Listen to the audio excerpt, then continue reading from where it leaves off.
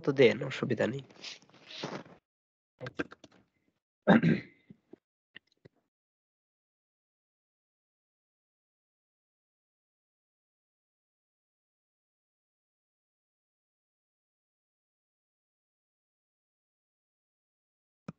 আমার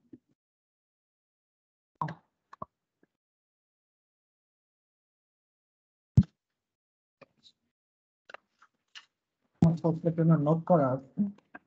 সেটাই কাজে লাগাবো। সালামু আলাইকুম। আশা করি সবাই ভালো আছো। তোমাদেরকে স্বাগতম। জগদীশ চন্দ্র বসু অনলাইন ফিজিক্স ক্যাম্পের দ্বিতীয় ক্লাসে আজকে ফোর্স অ্যান্ড নিউটনস ল লর অ্যাপ্লিকেশনগুলো নিয়ে কথাবার্তা। তো তোমরা ফোকাসে মনে হয় একটু প্রবলেম হইতেছে। প্রবলেম হচ্ছে। একটু টুকটাক ইয়া দিয়ে দিই।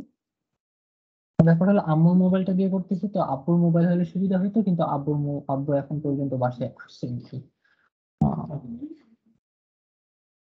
ঠিক আছে তো মোটামুটি হবে। এখন কি ঠিক আছে? হ্যাঁ জি ভাইয়া এখন জি, জি, ঠিক এখন আছে ঠিক এখন ফোকাসে এখন ঠিক আছে। এই যে উপরে একবার চাপ দিলে ফোকাস হয়ে যায়। আচ্ছা তো যেটা বলতেছিলাম যে আহ, যারা আহ, তিনটা ক্লাস করো নাই আহ, তাদের কতটুকু দরকার হবে? তাদের জাস্ট এইটুকু দরকার হবে যে এরকম ভাবে একটা ভেক্টর ছিল, এই যে এরকম ভাবে একটা ভেক্টর ছিল, এই ভেক্টরকে আমরা দুই ভাগে ভাগ করব ভেক্টর বিভাজন বা ভেক্টর রেজলিউশন যেটাকে বলে। এ ভেক্টর এটাকে আমরা দুই ভাগে ভাগ করব এ ভেক্টরটা আমাদের বলা আছে, সেটা এক্স এক্সিস এর সাথে থিটা কোণ করে আছে, ঠিক আছে? একটু পরে আমি বলব এসব এক্স এক্সিস ওয়াই এক্সিস এসব বলে কিচ্ছু নাই ফিজিক্সে শুধু হরিজন্টাল এক্সিস ভার্টিক্যাল এক্সিস ইত্যাদি ইত্যাদি আছে। এই এক্স এক্সিস ওয়াই এক্সিস এর সব ম্যাথের টার্ম যাই হোক, আপাতত ধরে নাও, এসব হলো এক্স এক্সিস ওয়াই এক্সিস এখন আবার এসব ধরে না যে এক্স এক্সিস ওয়াই এক্সিস বলে কিছু নাই ওকে এখন ধরো হলো এটা এক্স এক্সিস এটা ওয়াই এক্সিস তো এই এ ভেক্টরটা এক্স এক্সিস এর সাথে থিটা কোণ করে আছে তো এই এক্স এই এ ভেক্টরের একটা কম্পোনেন্ট নিব সেটা হলো এক্স এক্সিস বরাবর কম্পোনেন্ট নেওয়ার জন্য আমাদের কি করতে হবে? আমাদের এখান দিয়ে একটা সমকোণী ত্রিভুজ আঁকায় ফেলতে হবে ঠিক আছে? সমকোণী ত্রিভুজ আঁকালে কি হবে? তাহলে এই কম্পোনেন্টটা আমরা কীভাবে পাইতে পারি? এই কম্পোনেন্টটা আমরা এভাবে পাইতে পারি। এই এই সাইডের এই কম্পোনেন্টটাকে আমরা এ এক্স নাম দিই যদি তাহলে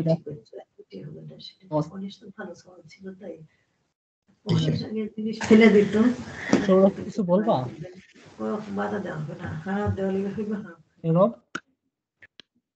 সরি ভাই ভুল করে মাইক্রোফোন অন হয়ে গেছিল। আচ্ছা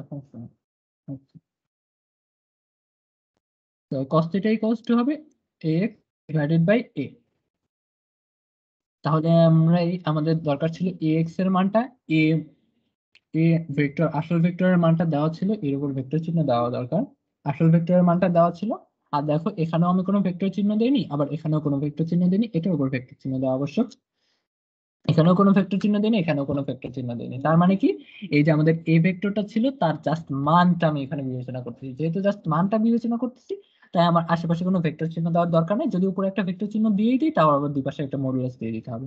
এখানে এখানে মডুলাস দিয়ে দিতে হবে। এত কালি খরচ করার কি দরকার? কষ্ট করে ভেক্টর চিহ্ন না দিই তার মানে এই এ এটা একটা ভেক্টর কিন্তু আমরা জাস্ট এর মানটা বিবেচনা করতেছি। তো আমাদের জানতে চাওয়া ছিল এ এক্সের মানটা এ এক্সের মানটা আমরা কীভাবে পাইতে পারি?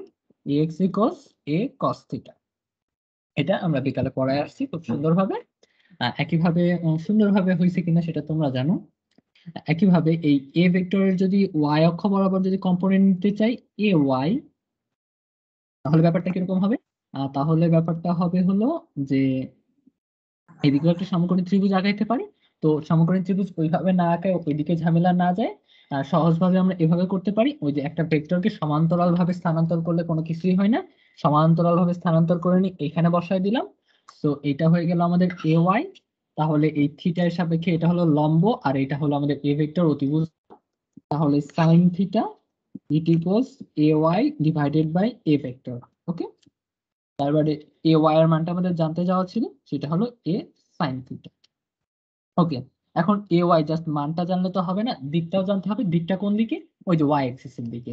আবার এ এক্সের দিকটা কোন দিকে? এক্স এক্সিস এর দিকে। তাহলে আমরা যদি এ ভেক্টরটাকে লিখি, তাহলে নিশ্চয়ই এভাবে লিখতে পারব A cos theta I cap A sine theta J cap ঠিক আছে? এটা বুঝলে বুঝছ, না বুঝলে না বুঝছ, কোনো সমস্যা নাই।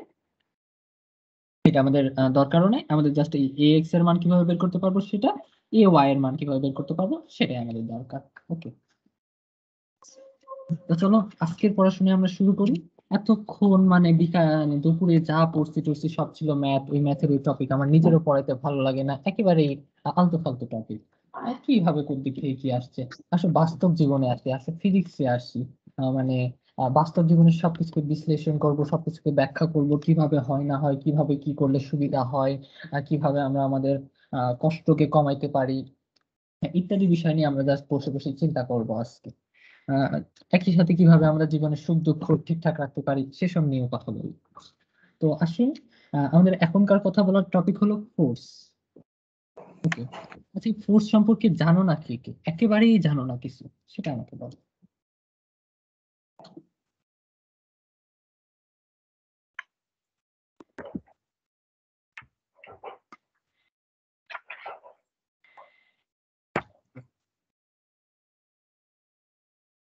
বুদ্ধিটা ভালো যে কিছুক্ষণ পর পর একটা করে কোশ্চেন করব, তোমরা চুপ থাকবে, আমি মাঝখানে একটু করে তো সবাই তো জানো, তাই না?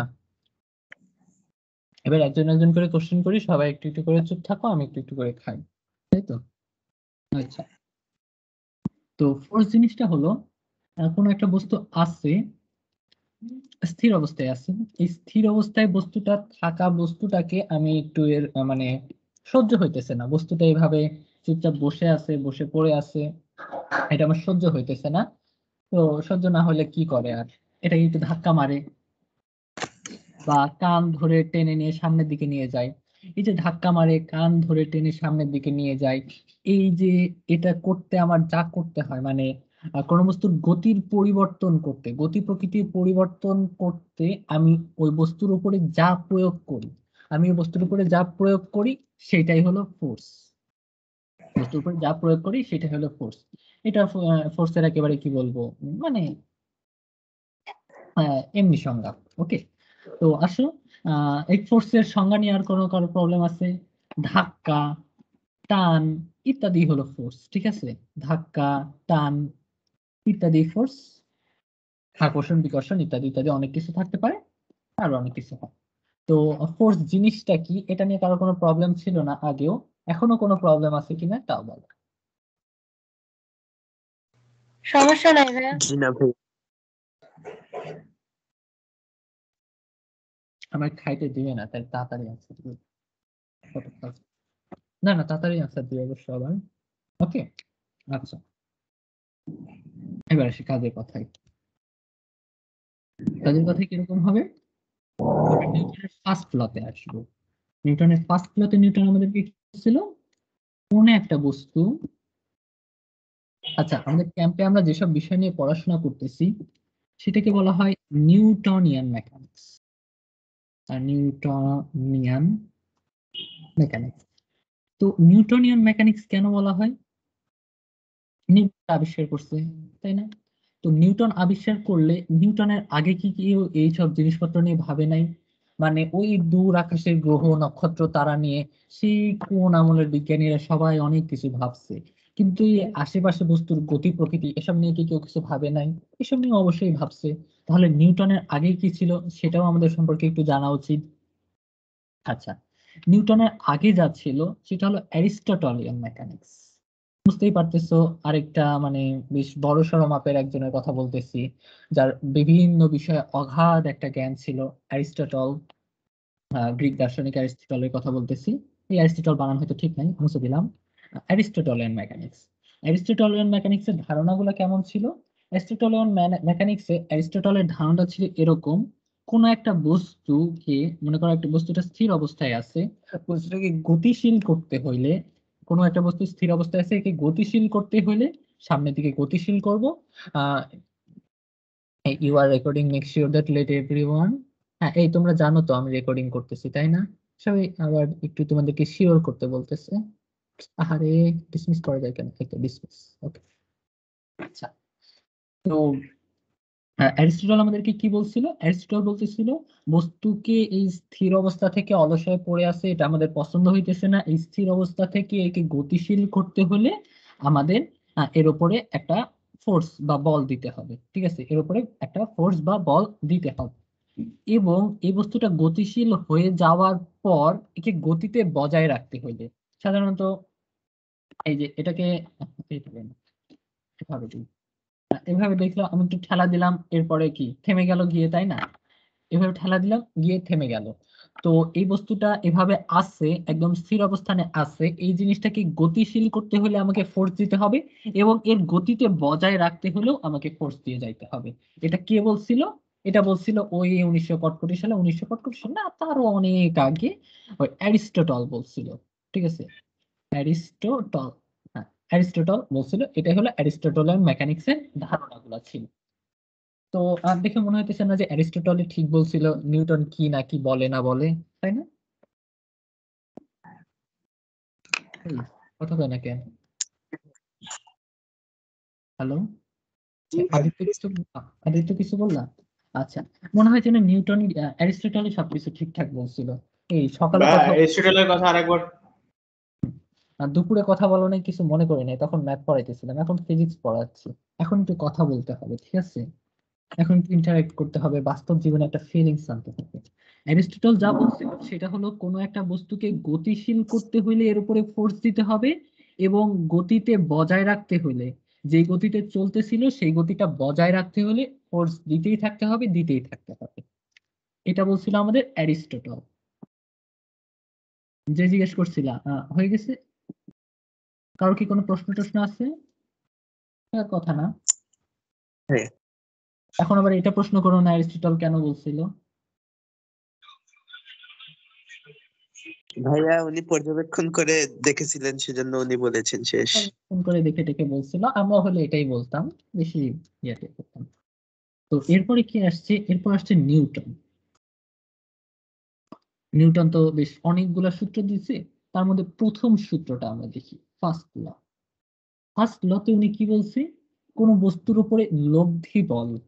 প্রথম ওয়ার্ডটা ইয়া করি, লব্ধি বল। ঠিক আছে? বা রেজাল্টেন্ট ফোর্স রেজাল্টেন্ট ফোর্স ঠিক আছে? লব্ধি বল। আমার লেখা একটু খারাপ। আমার নোট করা আছে। ওটা তোমাদেরকে দিয়ে দিব না। যদি তোমাদের লেখার উপরে ভরসা থাকে, তাহলে তোমরা নোটটা নিয়ে এখান থেকে পড়তে পারো। আর যদি ভরসা না থাকে, একটু নোট করার চেষ্টা করো। ভরসা না করাই ভালো। আচ্ছা যেটা বলতেছিলাম রেজাল্টেন্ট ফোর্স বা লব্ধি বল। প্রথমে এটা বোঝানো উচিত। আচ্ছা ফার্স্ট লতে কি ছিল সেটা বলি। ফার্স্ট ল ছিল কোনো বস্তুর উপরে লব্ধি বল, যদি শূন্য হয়, তাহলে স্থির বস্তু স্থির থাকবে এবং গতিশীল বস্তু গতিশীল থাকবে। গতিশীল বস্তু যেই বেগে গতিশীল ছিল, সেই বেগে গতিশীল থাকবে। গতিশীল বস্তু যেই বেগে গতিশীল ছিল, সেই গতিশীল থাকবে।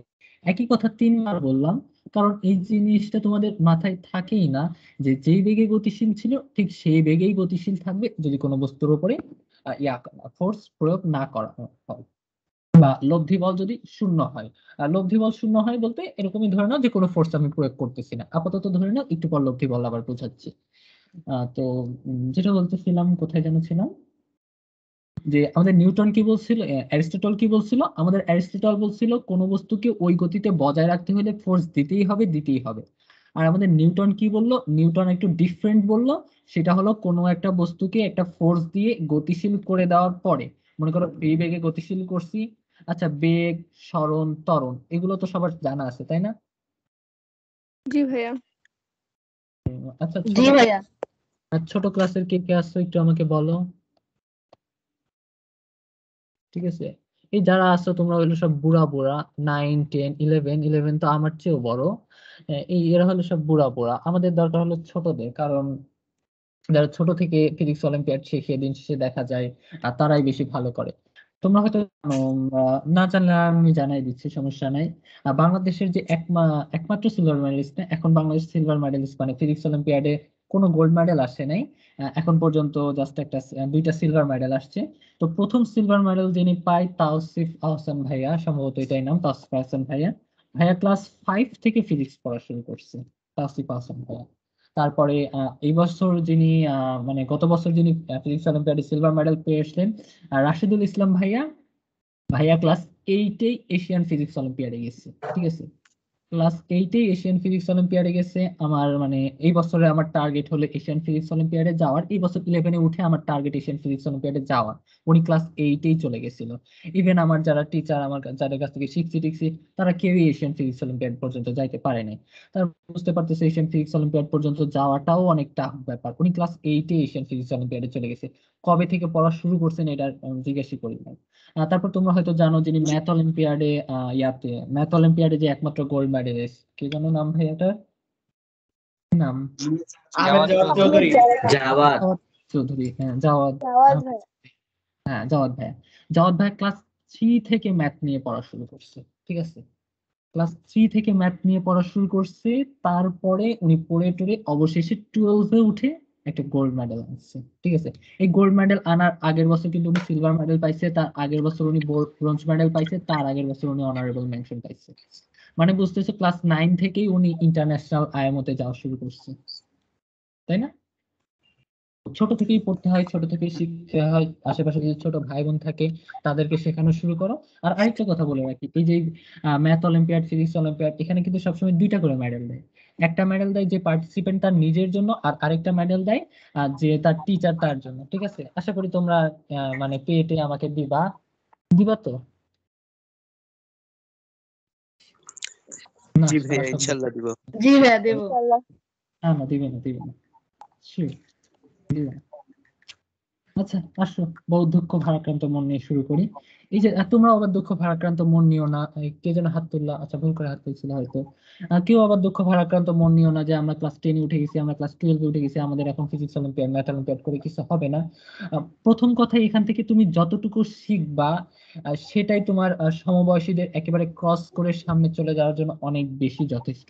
এই ফিজিক্স অলিম্পিয়াড ম্যাথ অলিম্পিয়াড থেকে শেখার অনেক কিছু আছে। মন্দ কথা তুমি যে চিন্তা ভাবনা করতে শেখা কোনো কঠিন প্রশ্ন দিকে ভয় না পায় সেটাকে কোনো একভাবে কাজে লাগানোর যে একটা চিন্তা ভাবনা বা কোনো একটা কঠিন কিছু পাইলে ভয় না পায় একটু দেখি হয় কিনা। অন্তত ট্রাই তো করি অন্তত কোনো একটা কিছু করি। এই এইটুকু অভিজ্ঞতাই তোমাকে অনেক বেশি আগায় রাখবে। আহ, আমার একাডেমিক রেজাল্ট অনেক খারাপ কজ আমার হাতের লেখা দেখে বুঝতেছে যে আমার গেল। ভাইয়া, আপনি কবে থেকে প্রিপারেশন নেওয়া শুরু করছেন ফিজিক্স অলিম্পিয়াডের জন্য? বলতেছি, ওই তো আমার একাডেমিক পড়াশোনা অনেক একাডেমিক হাতে লেখা দেখে বুঝতেছে একাডেমিকে আমার কিছুই মার্ক টার্ক দেয় না, কোনোই পুরো ধুয়ে দেয়।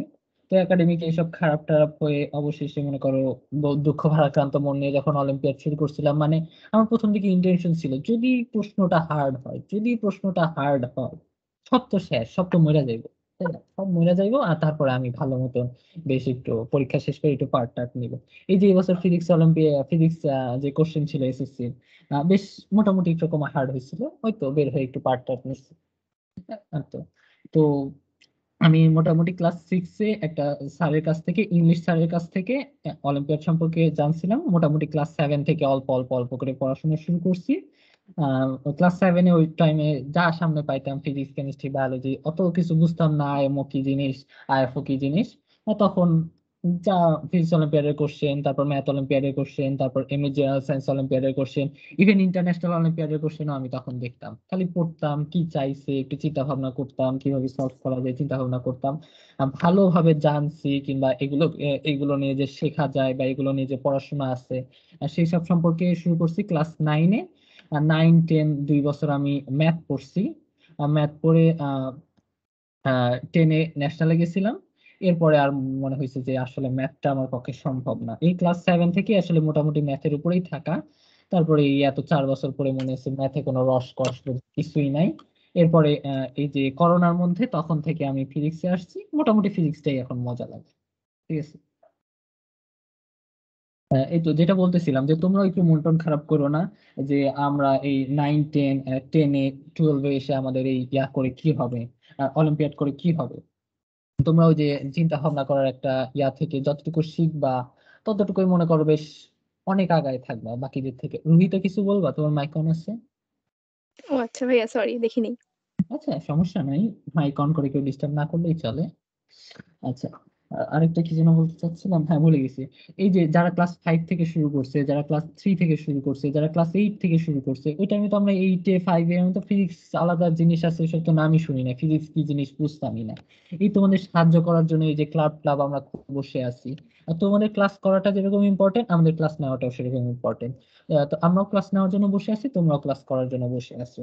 তো এই যে এরকম ক্লাস ক্লাবে ক্লাস ক্লাস করবা, তাহলেই দেখবা যে ওরা যে সুযোগ পাইছে, এরা হয়তো তার বাবা, চাচা বা বড় ভাই বড় ভাই, ছোট ভাই না, বড় ভাই বা বাবা, চাচা, মামা এদের কারোর কাছ থেকে হেল্প পাইছে। তার ফলে ওরা ফাইভে থ্রিতে ম্যাথ ফিজিক্স নিয়ে এত পড়াশোনা শুরু করছে। এরকম। তোমার আশেপাশে হয়তো নাই, তাই হয়তো পারো নাই। ব্যাপার না, অনেক ক্লাব আছে ক্লাবে নিয়মিত ক্লাস হয়, আমাদের ফিজিক্স নিয়মিত ক্লাস হবে, যেগুলো তোমাদের আগেই বলছিলাম যে, আমি অনেক আগে থেকে নিয়মিত ক্লাস নিই। তো টেস্টেও নিয়মিত ক্লাস হবে এখন থেকে। তো তোমরা থেকে যেতে পারো ক্লাবের মেম্বার হিসেবে। তো কিসে ছিলাম? পরিচয় গেছে আমরা ছিলাম হলো ফার্স্ট ল ফার্স্ট ল নিউটনের নিউটনের কোথায় যেন ছিলাম আমি? অ্যারিস্টটলের কথা বলতেছিলাম যে অ্যারিস্টটল বলছিল হলো, আহ, কোনো কিছুকে গতিশীল রাখতে হলে ইয়া করতেই হবে। কোনো কোন জিনিসকে গতিশীল রাখতে হলে কত বাজে? পঁয়তাল্লিশ বাজে গেছে। আর কোনো কিছুকে গতিশীল রাখতে হলে তার উপর ফোর্স প্রয়োগ করতেই থাকতে হবে, করতেই থাকতে হবে। আর নিউটন আমাদেরকে বলছে, কোনো কিছুর একটা ফোর্স প্রয়োগ করে তাকে যদি গতিশীল করে দেওয়া হয়, তাহলে সেটা ওই গতিতে চলতেই থাকবে। তো একটা জিনিস ভালো করে মাথায় রাখবা, যে কোনো জিনিসকে যদি কোনো একটা বেগে গতিশীল করে দেওয়া হয়, এরপর লব্ধি বল যদি শূন্য হয় বা কোনো ফোর্স যদি উপর না প্রয়োগ করা হয়, তাহলে তার ইয়া মানে যে বেগে গতিশীল ছিল সেই বেগে গতিশীল থাকবে। আচ্ছা দেওয়ার নামে কেউ একজন হাত তুলছিল, কিছু বলবা?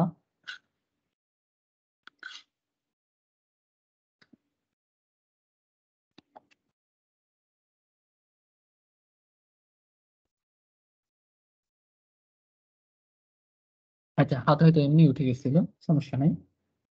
আচ্ছা তো আশা করি বুঝতে পারছ, অ্যারিস্টটল আর নিউটনের ফার্স্ট ডিফারেন্সটা কোথায়? ভাইয়া, একটু ফোকাসটা দিয়ে নেন। আসছে ফোকাস? না ভাইয়া।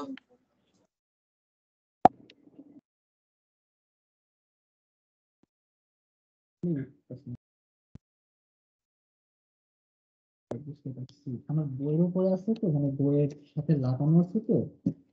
বইয়ের টাচ খেয়ে অটোমেটিক ইয়া হয়ে যাচ্ছে ফোকাস ঠিক আছে এখন ঠিক আছে ভাই। আচ্ছা। তো অ্যারিস্টটল আর নিউটনের ফার্স্ট ডিফারেন্সটা আশা করি বুঝতে পারছ। তো অ্যারিস্টটলের মানে নিউটনের কথাটা এত বেশি যুগান্তরকারী ছিল কেন? যেটা আমরা মানে একেবারে ইয়া থেকে আমরা ওরা এত বড় মানে এত নিয়ে নাচানাচি করতেছি যে অ্যারিস্টটলের সূত্র অ্যারিস্টটলের সূত্র এত বেশি কেন যুগান্তরকারী ছিল ওর কথাবার্তাগুলা? ওর যুগান্তরকারী কথাবার্তা এই জন্যই ছিল মানে একেবারে এইভাবে চিন্তা করছে দেখো যে আহ, আচ্ছা আমি আহ, লব্ধি বলটা বুঝাই এরপর অ্যারিস্টটলের কথা কেন যুগান্তরকারী ছিল সেটাতে আসবে। ওকে। তো লব্ধি বল জিনিসটা কি? লব্ধি বল হলো এই যে আমি মাত্র যেটা ভেক্টর পড়াইলাম একটা কল আসছে। আহ, একটু কলটা আবার কেটেও দিচ্ছে। কি কল দিছিল জানি না তোমরা আশা করি আমাকে শুনতে পাচ্ছ। হ্যালো? জি ভাইয়া। হ্যাঁ। ঠিক আছে তো লব্ধি বল জিনিসটা কি? লব্ধি বল এই যে আমি মাত্র এই ভেক্টর পড়াইলাম ভেক্টরে যে গ্রুপে অনেকে বলতেছে যে জয়েন হতে পারছে না। বলো যে গুগল মিটে কাজ হলো জি মানে ক্লাস হচ্ছে না। এটা একটু গ্রুপে একটু বলে দাও। আচ্ছা। মাইক্রোসফট টিমে তো জয়েন হওয়ার হতে কোনো প্রবলেম জি। বলে দাও অন বিহাফ অফ ভাইয়া কথা ভেঙে যাচ্ছিল আরেক জি বুঝতে পারিনি কথা ভেঙে যাচ্ছিল আরেকবার বলবেন? আচ্ছা বলতেছিলাম যে ওই যে গুগল ইয়াতে বলে দাও যে গুগল মিটে জয়েন মানে মানে গুগল মিটে ক্লাস হচ্ছে না। বলে অন বিহাফ অফ ভাইয়া গুগল মিটে ক্লাস হবে না তোমরা মাইক্রোসফট টিমে জয়েন করার চেষ্টা করো।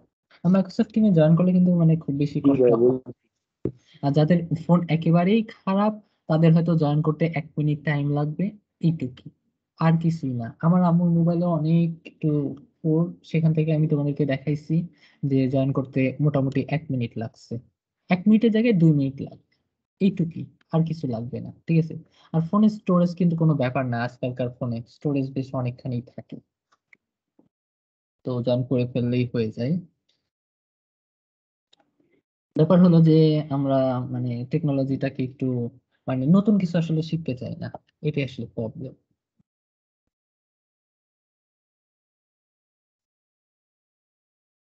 যাই হোক মাইক্রোসফট টিমও আবার কতদিন পর্যন্ত এত খানদানি সুবিধা দিবে সেটাও আসলে আর বলা যায় না। কারণ মাইক্রোসফট টিম বুঝতেছে বাজারে মার্কেট পাওয়ার জন্য এত কিছু সুবিধা টুবিধা দিয়ে রাখছে। যখন মার্কেট পেয়ে যাবে তখনও হয়তো জুমের মতো কিংবা গুগল মিটের মতো একটু সুবিধা টুবিধা কমায় দিবে।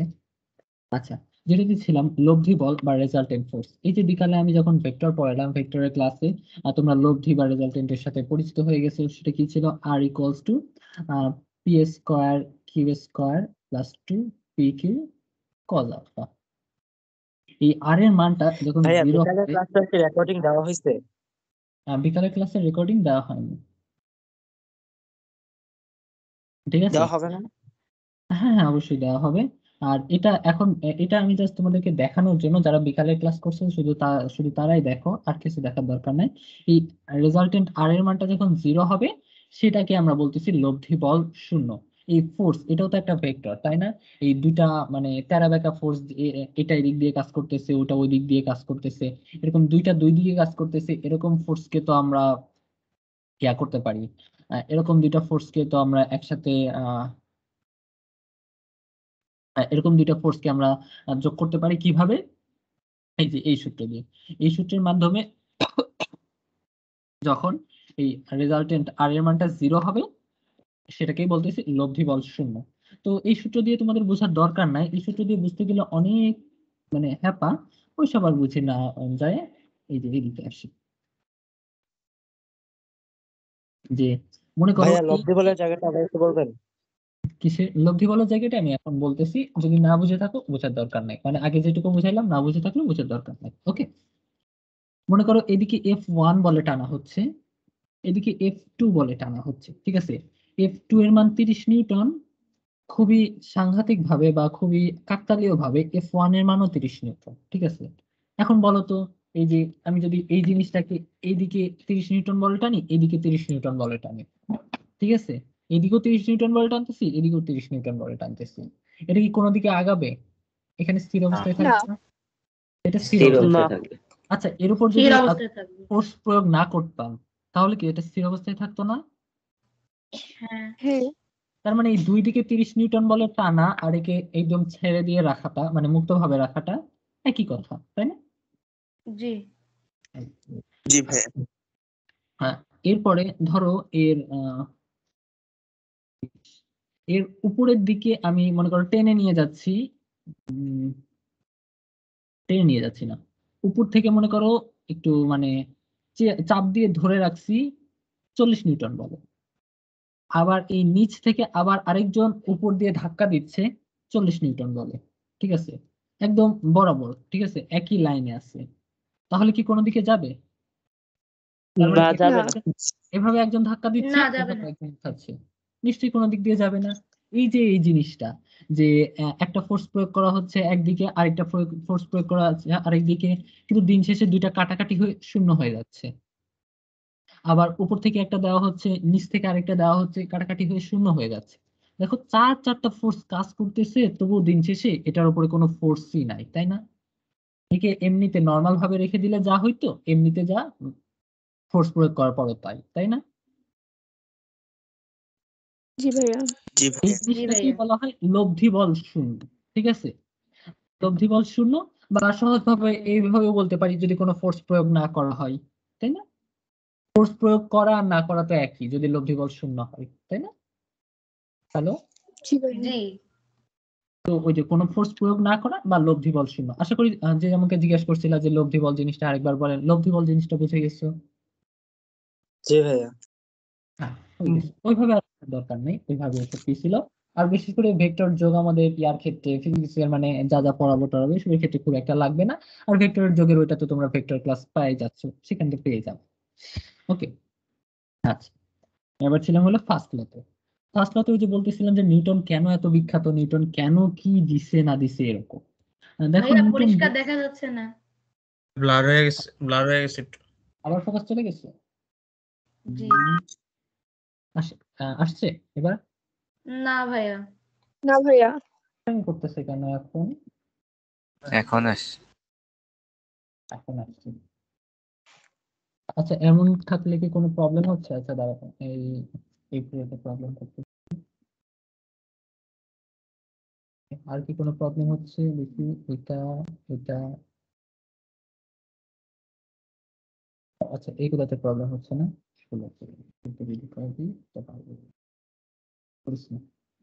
এখন মনে হয় ঠিক আছে সবচেয়ে জি ভাই দেখা যায়। জি দেখা যাচ্ছে। আচ্ছা আবার কি আবার এইটা প্রবলেম করতেছে। আবার একটু বেশি গাড়ি আনতে হবে। ওরে বাবা! এমনি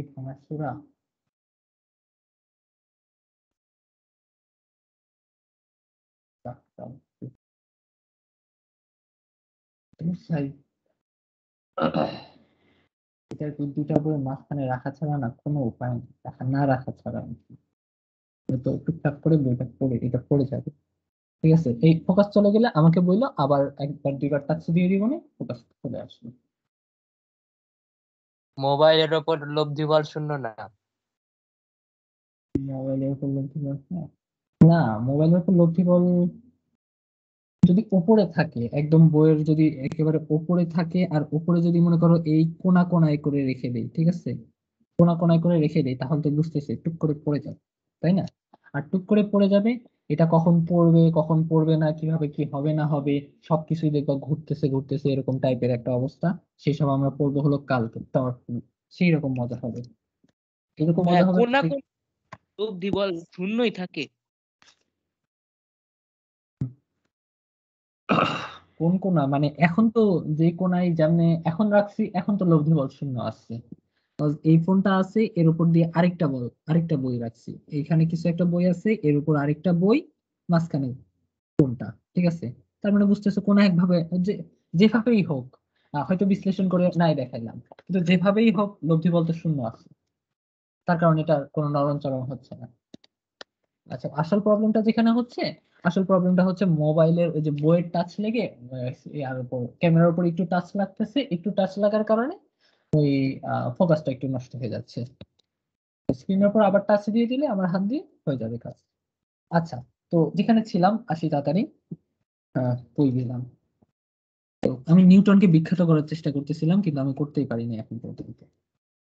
তো এই যে অ্যারিস্টটল মানে সাধারণ মানুষ, সাধারণ কথাবার্তায় তো এটাই আসে যে কোন একটা বস্তুকে গতিতে রাখতে হলে এর উপর বল প্রয়োগ করতেই হবে করতেই হবে। কিন্তু নিউটন কি করল? নিউটন প্রথমে একটা বস্তুর উপরে বল প্রয়োগ করল, দেখল এইটুকু পর্যন্ত এসে থেমে গেছে। এরপর কি করল? এই সারফেসটা একটু বেশি বেশি করে তেল দিয়ে দিল। তেল দিয়ে দেওয়ার পরে কি হলো? তারপর দেখা গেল বস্তুটা এত দূরে এসে থেমে যাচ্ছে। তারপর আরও বেশি বেশি করে তেল দিয়ে দিছে। একেবারে তেলে তেল তেলা করে দিছে। তারপর দেখা গেল এত দূরে এসে থেমে গেছে। ঠিক আছে? তখন নিউটন মানে চিন্তা ভাবনা করল আচ্ছা চার নাম্বার পজিশনটা তোমাদের এখানে দেখা যাচ্ছে না। আচ্ছা আমি কত দূর থেকে কত দূর দেখা যায়? আচ্ছা এইখানে এখানে এখানে। হ্যাঁ, এখানে কি দেখা যায় না? জি যায়। এখানে দেখা যায়। ওকে। এখানে এই পর্যন্ত দেখা যায়। এখানে এই পর্যন্ত দেখা যায়। উপরে উপরে এখানে পুরোটাই দেখা যায় এখানে এই পর্যন্ত এই পর্যন্ত। ওকে? এখানে এই পর্যন্ত, তাও এরকম না, এই যে এরকম ভাবে দেখা যায় না। হুম, ঠিক আছে। আমার মাথায় থাকবে, আমি ওটার বাইরে যাব। ওকে? দেখা যাওয়ার কথা ছিল।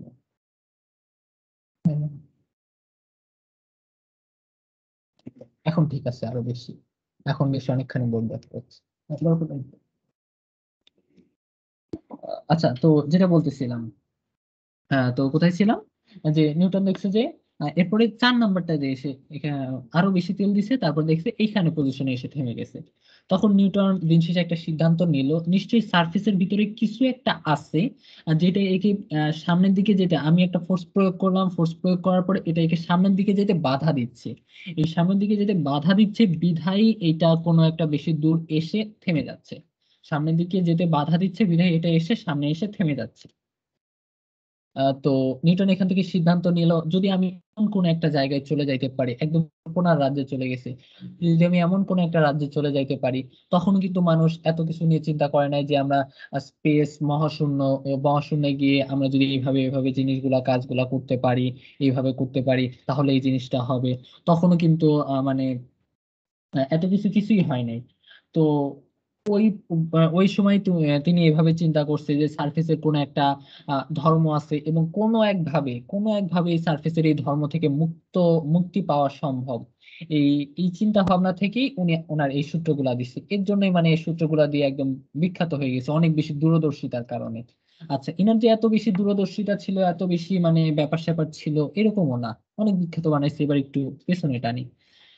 উনি কীভাবে বুঝছে যে এই সার্ফেসের কোন একটা ধর্ম আছে যেটা একে বাধা দিচ্ছে পিছনে মানে সামনের দিকে যাইতে?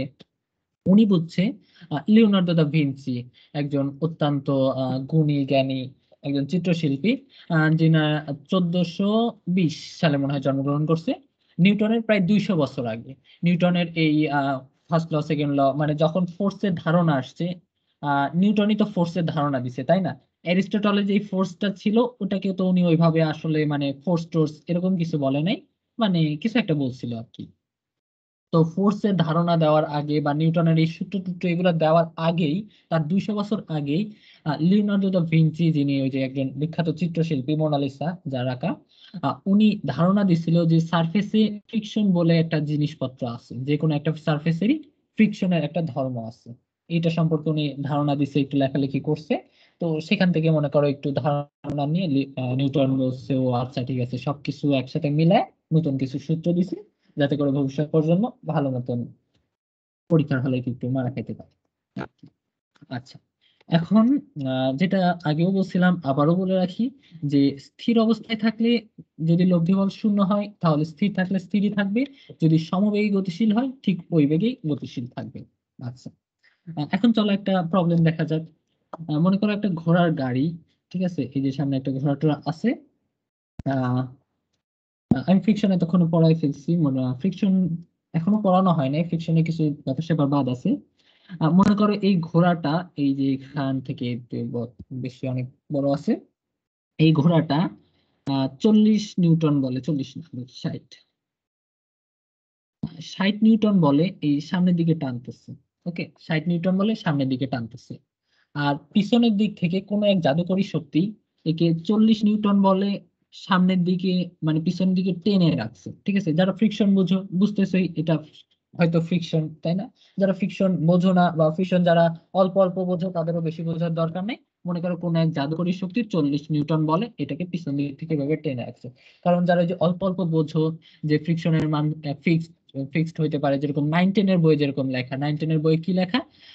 বইয়ে বিভিন্ন ধরনের অঙ্ক আছে যেখানে লেখা হলো ধরো রাস্তার ঘর্ষণের মান দশ নিউটন, ধরো রাস্তার ঘর্ষণ বলের মান ওয়ান নিউটন। এই যে এইসব কোনো ফ্রিকশনের কোনো মানে আজগুবি কথাবার্তা, ঠিক আছে? তো মনে করো জাদুকরী শক্তি, ঠিক আছে? আমরা ফিকশনেও না যাই, জাদুকরী শক্তি আসলে একটা জাদুকরী শক্তি যেটাকে দেখা যাচ্ছে না। সেই জাদুকরী শক্তি এই ঘোড়ার গাড়িটাকে বিষ বলে পিছনের দিকে টেনে রাখতেছে না যাইতে দিব না যাইতে দিব না। মনে করো ঘোড়ার গাড়িতে উঠায় কিছু নিয়ে যাওয়া হচ্ছে। তো এই এত দূর আসার পরে আচ্ছা আমাকে একটু বলতো আচ্ছা এই ঘোড়ার গাড়িটার ওজন হলো পাঁচশো কেজি ওকে? আচ্ছা এখন আমাকে একটু 500 বলো তো যে হ্যাঁ যে এই যে এই আহ, এটার উপর লব্ধি বল কত? বিশ নিউটন। বিশ। বিশ নিউটন সামনের দিকে। এক্স এক্সিস বরাবর বা বা এই যে ভূমির সমান্তরালে কত? বিশ নিউটন সামনের দিকে তাই না? বিশ নিউটন সামনের দিকে। তো মনে করো এইখান থেকে কিছু দূর আসার পরে মনে করো পঞ্চাশ মিটার আসার পরে ঘোড়াটার একটু হাঁপায় গেছে ক্লান্ত হয়ে গেছে ঠিক আছে? ক্লান্ত হয়ে সে এখন কি করতেছে? এখন এই পজিশনে আছে এই যে এখানে ঘোড়াটা আছে। তো ঘোড়াটা এখন একটু হাঁপায় চল্লিশ নিউটন বলে টানতেছে। আর ওই পিছন দিক থেকে জাদুকরী শক্তি চল্লিশ নিউটন বলে টানতেছিল ও হাল ছেড়ে দেয় নাই। এখনও চল্লিশ নিউটন বলে টানতেছে ঘোড়াটাও এখন চল্লিশ নিউটন বলে টানতেছে ঠিক আছে? আর ঘোড়াটা এখান থেকে বিশ নিউটন বলে টেনে টেনে এই পর্যন্ত নিয়ে আসছে। আহ, এখন একটু হাঁপায় গেছে অনেকক্ষণ টানছে এখন চল্লিশ নিউটন বলে এখানে আসছে চল্লিশ নিউটন বলে টানতেছে। এখন গাড়িটার কি হবে একটু বলো তো? হয়ে লব্ধি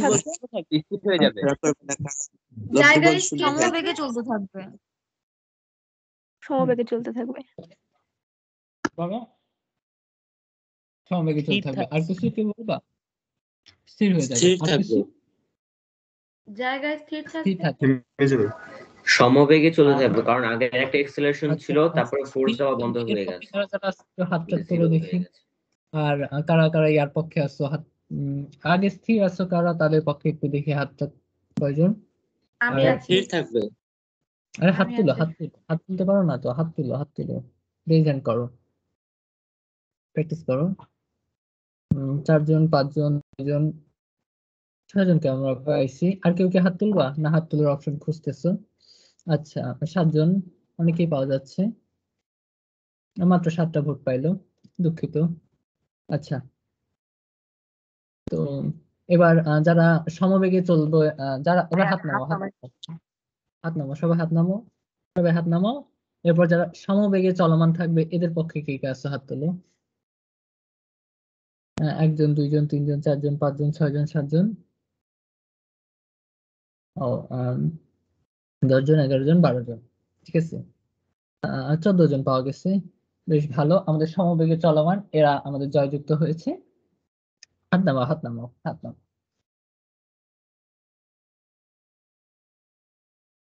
ঠিক আছে, ভোট শেষ, হাত নামাও। তো আশা করি তোমরা বেশ ভালো উত্তর দিছো।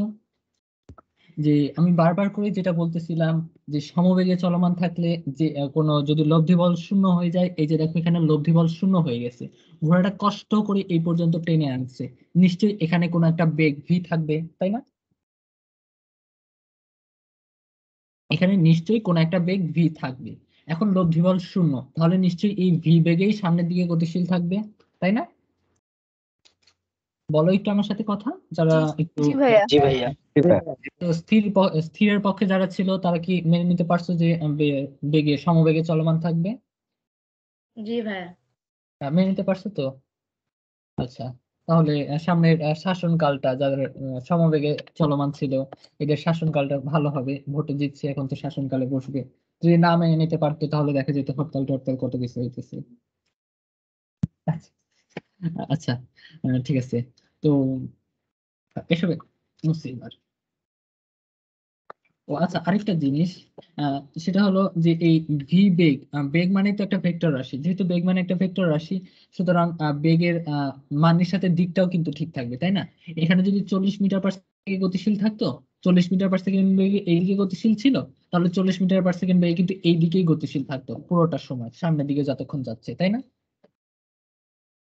জি ভাইয়া। জি ভাইয়া। আচ্ছা যারা হাত তুলে আছো কিছু বলবা? আহ, জুনায়েদ কিছু বলবা? বা সাইদা তাসনিম যে ছিল কিছু বলবা?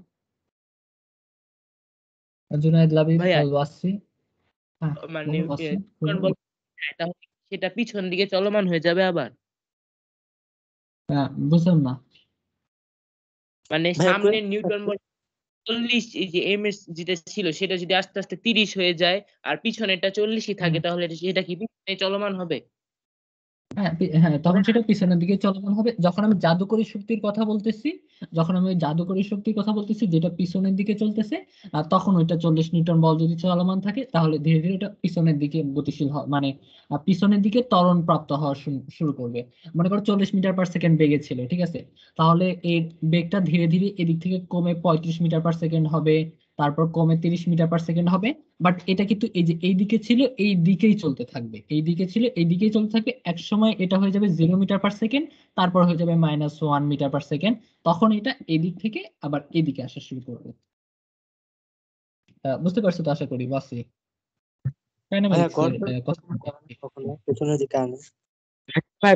সময় তার এমন হবে না জি বুঝলাম না। ভাইয়া ঘর্ষণ তো কখনো পিছনের দিকে নিয়ে যায় না ওইটা জিরো হয়ে গেলে ও আচ্ছা আমি কিন্তু জাদুকরী শক্তির কথা বলতেছি। আমি যখন প্রথমেই কোশ্চেন করছি আমি তখন বলছি জাদুকরী শক্তির কথা আমি বলছি। আমি ঘর্ষণ বলের কথা বলিনি।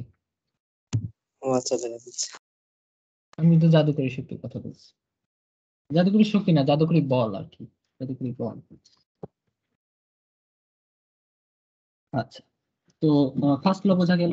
এবার আসি তাড়াতাড়ি করে সেকেন্ড লতে বেশি টাইম ওয়েস্ট হয়ে যাচ্ছে আমার অনেক কিছু করাইতে হবে। তো second law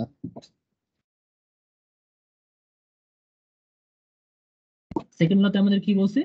Summation of F equals M A summation of F দিয়ে কি বোঝাচ্ছে? সামিশন অফ এফ দিয়ে বোঝাচ্ছে হলো লব্ধি বল। কোনো কিছুর উপর লব্ধি বল এর মান যতটুকু সেটা দিয়ে সেটা সামিশন অফ এফ দিয়ে বোঝাচ্ছে।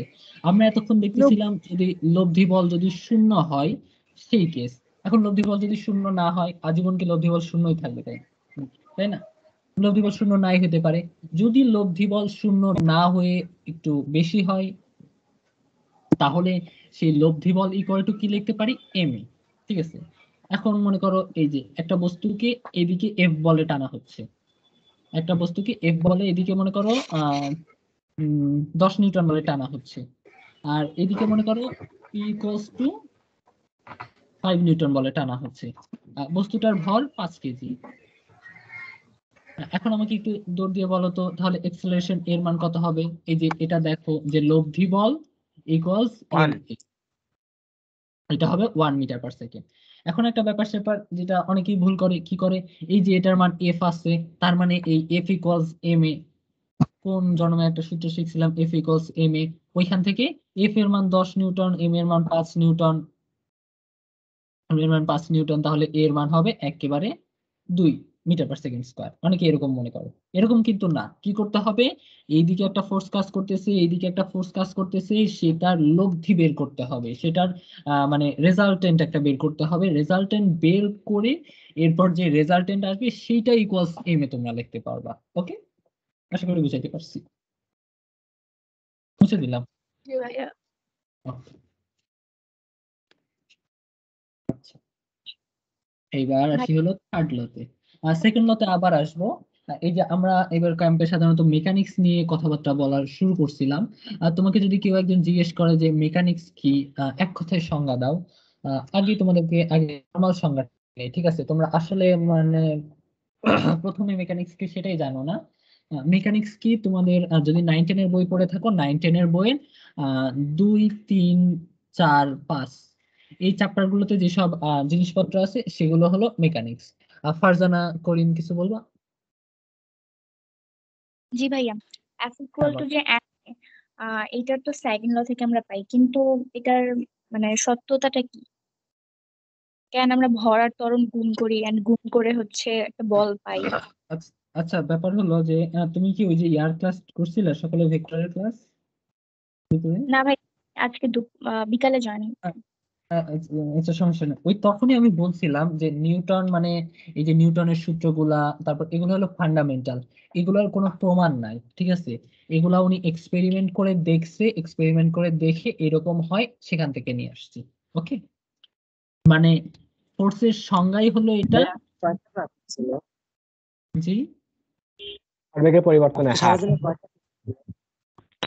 আমি কারোর কথা শুনতে পাইনি। আজকে কয়টা ক্লাস হয়েছিল সারাদিনে? সকালে তিনটায় একটা ক্লাস হয়েছে সেটা হলো ভেক্টরের ক্লাস ক্লাসটাতে ছিল না সমস্যা নেই ভেক্টরের ক্লাসে যতটুকু এখন লাগবে ততটুকু আমি পড়াই দিছিলাম। ঠিক আছে ফারজানা আবার কিছু বলবা? তোমার প্রশ্নের উত্তর দিচ্ছি শেষ করিনি এখনও। কিছু বলবে না হয়তো আমি পড়ার আমারটা শুরু করি। আমার যে মানে ওর যে কোশ্চেনটা ছিল। ব্যাপার হলো এই যে মানে কি বলব, এই যে নিউটনের প্রথম সূত্র, দ্বিতীয় সূত্র, তৃতীয় সূত্র, এগুলোর কোনো প্রমাণ হয় না, ঠিক আছে? এই এগুলা এক্সপেরিমেন্টালি দেখে টেখে তারপরে প্রমাণ করছে। সাধারণত তোমরা জ্যামিতিতে থিওরেম বা উপপাদ্যগুলো যেভাবে প্রমাণ করো ইত্যাদি মানে প্রমাণের বিভিন্ন বিষয় আসে থাকে। ফিজিক্সের এই কিছু কিছু সূত্র যেগুলো একেবারে ফান্ডামেন্টাল সূত্র, এগুলোর কোনো প্রমাণ হয় না, এগুলোকে প্রমাণ করা যায় না। যেরকম অনেকে যে দ্বিতীয় সূত্র থেকে প্রথম সূত্র প্রতিপাদন করে, তাই না? আসলে প্রথম সূত্রটা আসছে কোথা থেকে? প্রথম সূত্রের পরে কিন্তু দ্বিতীয় সূত্র আসছে, ঠিক আছে? এই প্রথম সূত্র থেকেই দ্বিতীয় সূত্র আসছে, এবার দ্বিতীয় সূত্র থেকে নিয়ে প্রথম সূত্র প্রমাণ করে, ঠিক আছে? করে তো ওইখানে ব্যাপার হলো কিন্তু এসবের প্রমাণ টমাণ হয় না। এগুলো নিয়ে মানে কি বলব? এগুলো সবকিছু এক্সপেরিমেন্টালি প্রুভড ওকে ওই যে যেরকম বলছিলাম যে ভেক্টরের ত্রিভুজ সূত্র একটু শুনতে আজব লাগতে পারে যে দুইটা বাহুর যোগফল কীভাবে তৃতীয় বাহুর সমান হয়। শুনতে আজব লাগলেও এগুলো ওই যে এক্সপেরিমেন্টালি দেখে দেখে প্রুফ করছে যে আসলে হ্যাঁ জিনিসটা এরকম। ফারজানা আর কিছু বলবা? না। ভাইয়া অনেক বড় একটা মিসকনসেপশন থেকে বাঁচাই দিলেন এই যে নিউটন লয়ের প্রমাণগুলা থেকে। এই নিউটন লয়ের প্রমাণ না কথা। ও আচ্ছা আরেকটা কথা যেটা আমি মেকানিক্স এর সংজ্ঞা দিচ্ছিলাম মেকানিক্স হলো এই আমাদের নাইন টেনের বই দুই, তিন, চার, পাঁচ, এগুলো যেসব আছে এগুলোই হলো আমাদের মেকানিক্স এর আলোচ্য বিষয়। তার মানে বুঝতেছে, গতি, তারপরে ফোর্স তারপরে কাজ, শক্তি, ক্ষমতা, তারপরে হলো চাপ, টাপ চাপ, তারপরে টেনশন ফোর্স ইত্যাদি ইত্যাদি সারফেস টেনশন ইত্যাদি ইত্যাদি নিয়ে আমাদের মেকানিক্স এর আলোচনা। এখন তোমাকে যদি সংক্ষেপে, খুবই সংক্ষেপে কেউ একজন বলে যে মেকানিক্স কি, সংক্ষেপে বলো, তাহলে একেবারে সংক্ষেপে তুমি বলে দিতে পারো যে মেকানিক্স হলো শুধুই নিউটনের সেকেন্ড ল শুধুই নিউটনের সেকেন্ড ল শুধুই নিউটনের সেকেন্ড ল মেকানিক্স যা আছে সবই নিউটনের সেকেন্ড লর উপর ভিত্তি করে ওকে তো এটা নিয়ে এটা নিয়ে তো আর মানে ছেড়ে দেওয়া যায় না। এখন আমরা টুক করে থার্ড ল পরে আবার সেকেন্ড লতে আসব এবং সারাদিন সেটা নিয়ে কথা বলব। তো আমরা থার্ড লতে আসি অলরেডি অনেক টাইম ওয়েস্ট করে ফেলছি। থার্ড ল কি বলছে? থার্ড লতে আমাদেরকে বলছে প্রত্যেক ক্রিয়ারই একটি বিপরীতমুখী সমান এবং প্রত্যেক ক্রিয়ারই একটি বিপরীতমুখী সমান প্রতিক্রিয়া বল আছে। ঠিক আছে? তার মানে তুমি একটা দেয়ালে যদি ঘুষি মারো, দেয়ালে যদি ঘুষি মারো, দেয়ালটা তোমাকে ঠিক অপোজিট একটা ফিরায় দিবে। ঠিক আছে? আচ্ছা এখন কি কারও মনে হচ্ছে না যে এখানে তো লব্ধি বল শূন্য হয়ে যাবে? তাই না? এই যে আমি যখন এই মার্কারটাকে একটা মার্কারটাকে এইভাবে ধাক্কা দিচ্ছি তখন এই মার্কারটাও ঠিক আমাকে পিছন দিকে একটু ধাক্কা দিচ্ছে। মার্কারটাও আমাকে ঠিক পেছনের দিকে একটা ধাক্কা দিচ্ছে যার তাহলে তো লব্ধি বল শূন্য হয়ে মার্কারটা আর আমার হাতটা সব স্থির থাকার কথা তাই না? কিন্তু ভাই এখানে তো ভিন্ন ইয়ের মানে কি ভিন্ন বস্তুর উপর বলটা ক্রিয়া করছে না দুইটা। হ্যাঁ হ্যাঁ এটাই যে নিউটনের থার্ড লতে ক্রিয়া বল আর প্রতিক্রিয়া বল অ্যাকশন ফোর্স আর রিয়াকশন ফোর্স এটা দুইটা ভিন্ন বস্তুর উপরে ক্রিয়া করে। অ্যাকশন ফোর্স এবং রিয়াকশন ফোর্স এটা পরস্পর বিপরীত বস্তুর উপর, দুইটা ভিন্ন বস্তুর উপরে ক্রিয়া করে। অ্যাকশন ফোর্স আর রিয়াকশন ফোর্স দুইটা ভিন্ন বস্তুর উপরে ক্রিয়া করে। যদি দুইটা বস্তুর উপরে একই বল ক্রিয়া করে, তখন সেখান থেকে আমরা রেজাল্টেন্ট বা লব্ধি আনতে পারি। বাট আমাদের থার্ড লার যে অ্যাকশন ফোর্স রিয়াকশন ফোর্স বা ক্রিয়াবল প্রতিক্রিয়া বল, এটা দুটো ভিন্ন বস্তুর উপর প্রতিক্রিয়া করে, তাই দেখা যায় যে দুইটা বস্তুর উপরই বলটা প্রযুক্ত হয়। আশা করি বুঝতে পারছ। আচ্ছা এই যে ভিন্ন দুইটা বস্তুর উপরে ক্রিয়া হয়, এই দুইটা ভিন্ন বস্তুকে বলা হয় action reaction pair okay action reaction pair action reaction pair তো এই অ্যাকশন রিয়াকশন পেয়ার নিয়ে যদি আসি। অ্যাকশন রিঅ্যাকশনের কারণে হয়। জি। ফ্রিকশন ফোর্স কি অ্যাকশন রিঅ্যাকশনের কারণেই হয়? কি ফোর্স বুঝি নাই। ঘর্ষণ বল। না না ঘর্ষণ বল অ্যাকশন রিঅ্যাকশনের কারণে হয়। আচ্ছা। তো যেখানে ছিলাম অ্যাকশন রিঅ্যাকশন ফোর্স এই যে যেরকম মনে করো পৃথিবী আমাকে এমজি পরিমাণ বল দিয়ে টানতেছে বা আমার ওজনের সমান পরিমাণ বল দিয়ে টানতেছে। ফারজানা কিছু বলবা? জি ভাইয়া বায়ু মাধ্যমে কি অ্যাকশন ফোর্স আর রিয়াকশন ফোর্স সমান হয় মান জাস্ট মানটা। বায়ু মাধ্যমে অ্যাকশন রিঅ্যাকশন ফোর্সের মান হ্যাঁ মানটা সমান হবে কিন্তু ব্যাপার হলো যে মানে এই দিক টিক নিয়ে যদি বেশি বিবেচনা করতে চাও, সেখানে তোমার আবার ফ্লুইড ডাইনামিক্স পড়ে আসতে হবে, ঠিক আছে?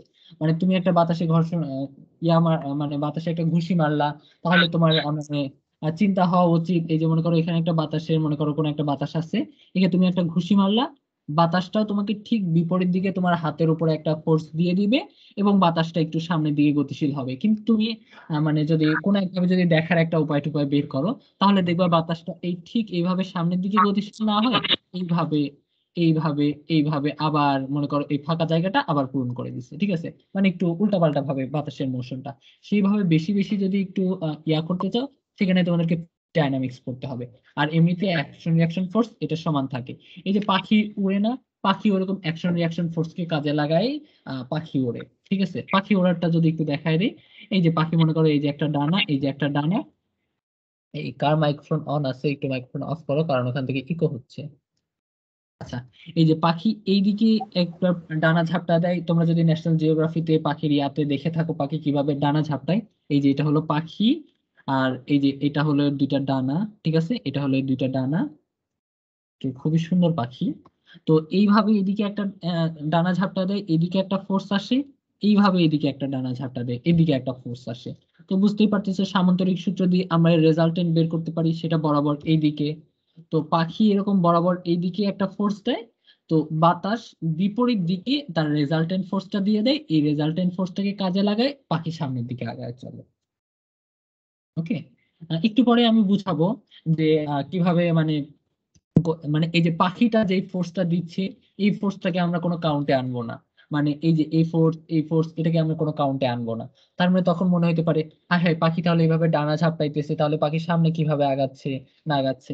এই যে পাখি এরকম ভাবে পাখি ডানা ঝাপটায় শক্তিটা দিচ্ছে শক্তিটা দিয়ে শক্তি দিচ্ছে তখন বাতাস তাকে ফিরায় একটা শক্তি দিচ্ছে যেই শক্তিটা মানে যে শক্তি বলতেছি বারবার বল ঠিক আছে ফোর্স বাতাস যেই ফোর্সটা বিপরীত দিকে দিচ্ছে সেইটার মাধ্যমে সে আগায় যাচ্ছে। কিন্তু আমরা যখন আহ, ইয়াটাকে বিশ্লেষণ করব কি বলতেছিলাম কি বললাম? আমরা যখন পাখির চলাটাকে বিশ্লেষণ করব, আমরা শুধু এই ফোর্সটাকে আনব মানে প্রতিক্রিয়া বলটাকে আনব। এখন তোমার মনে হতে পারে, তাহলে পাখির নিশ্চয়ই কোনো বল দেওয়া লাগবে না। পাখির কিন্তু এই প্রতিক্রিয়া বলটা পাইতে হলে নিজের একটা বল দেওয়া লাগবে। নিজের বল দিয়ে তারপরে এই প্রতিক্রিয়া বলটা তৈরি করা লাগবে। আশা করি উত্তর পাইছো, আরও এক্সট্রা বলে ফেলছি অনেক। আচ্ছা এই যে পৃথিবী আমাকে এমজি পরিমাণ বলে টানতেছে, আমিও কিন্তু পৃথিবীকে এমজি পরিমাণ বলে টানতেছি মানে আমার ওজনের সম পরিমাণ বলে টানতেছি, তাই না? হ্যালো জি ভাইয়া। জি ভাইয়া পৃথিবী আমাকে পৃথিবী আমাকে টানতেছে। আমিও ঠিক একই পরিমাণ বলে নিজের দিকে টানতেছি। তাহলে আমি আর পৃথিবী একটা অ্যাকশন রিয়াকশন পেয়ার তুমি আর পৃথিবী একটা অ্যাকশন রিয়াকশন পেয়ার তাই না? তাই তো। আচ্ছা এখন একটা ত্বরণটা তো খুবই ছোট হয়। হ্যাঁ ত্বরণটা খুবই ছোট হয়। আচ্ছা তুমি এখন আমাকে একটা কথা বলো। এই যে মনে করো ক্যালকুলেটরটা এই আমরা এই সারফেসের উপরে রাখছি। আর কোনো একটা সারফেসের উপরে যদি রাখা হয় কোনো একটা বস্তু একটু পরে আবার পড়াবো এই জিনিসটাকে। আহ, এমনিতে এখন আমি পড়ায় ফেলি যে কোনো একটা তলের উপরে কোনো যদি একটা বস্তুকে রাখা হয় মানে তলের উপর রাখা হয়েছে এটাই হলো দোষ ঠিক আছে? যে আমার উপরে এই একটা টেবিলের উপরে এই বস্তুটাকে রাখছি এটাই হলো দোষ। এই দোষের কারণে কি করবে? এই তলটা একে পিছনের দিকে, একটা উপরের দিকে একটা ফোর্স দিবে। এই ফোর্সটাকে বলা হয় নর্মাল ফোর্স জাস্ট নর্মাল ভাবে চিন্তা করো যে নর্মাল কোনো সারফেসের উপরে রাখা হইলে নর্মালি উপরে একটা ফোর্স দিবে কোনো বস্তুর উপরে। একটু পর একটু বিস্তারিত পড়াবো। আবার এই বস্তুটাকে পৃথিবী টানতেছে, তার ওজনের সমপরিমাণ বলে। তাই না? তো এখন এখানে আমাকে বলো যে অ্যাকশন রিয়াকশন পেয়ার কোন দুইটা?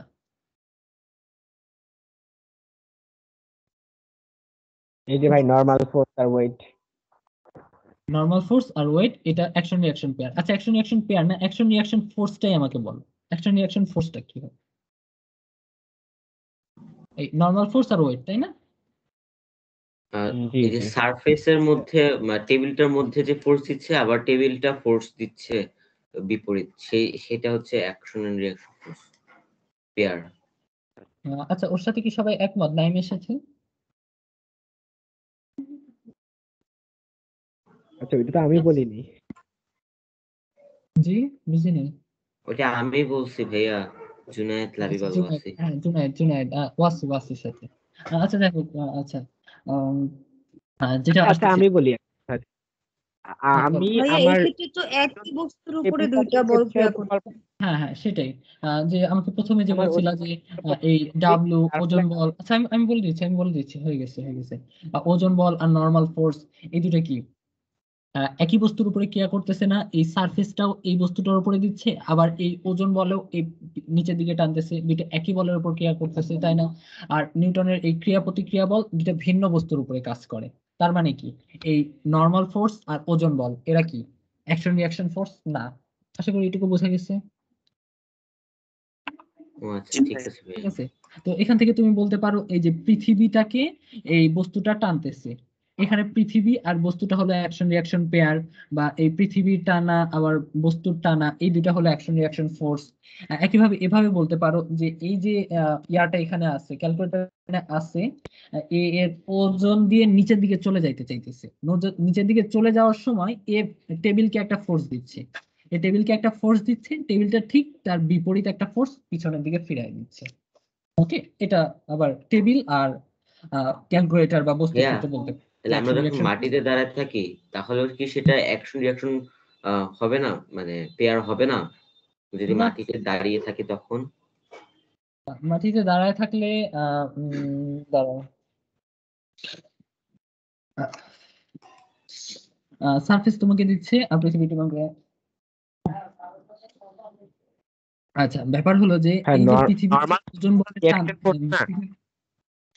পৃথিবী- যে ওজন বলে টানতেছে সেটা কিন্তু একেবারে কেন্দ্র থেকে আসতেছে ঠিক আছে?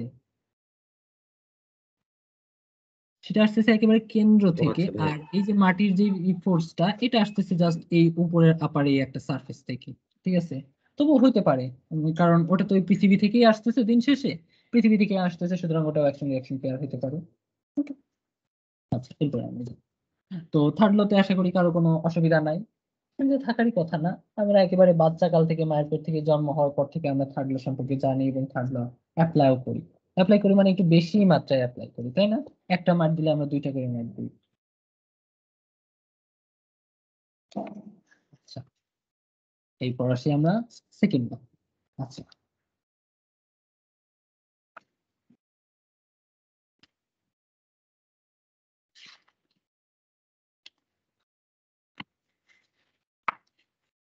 এতক্ষণে তোমাদের কতটুকু পড়ানো হয়েছে দেখবা।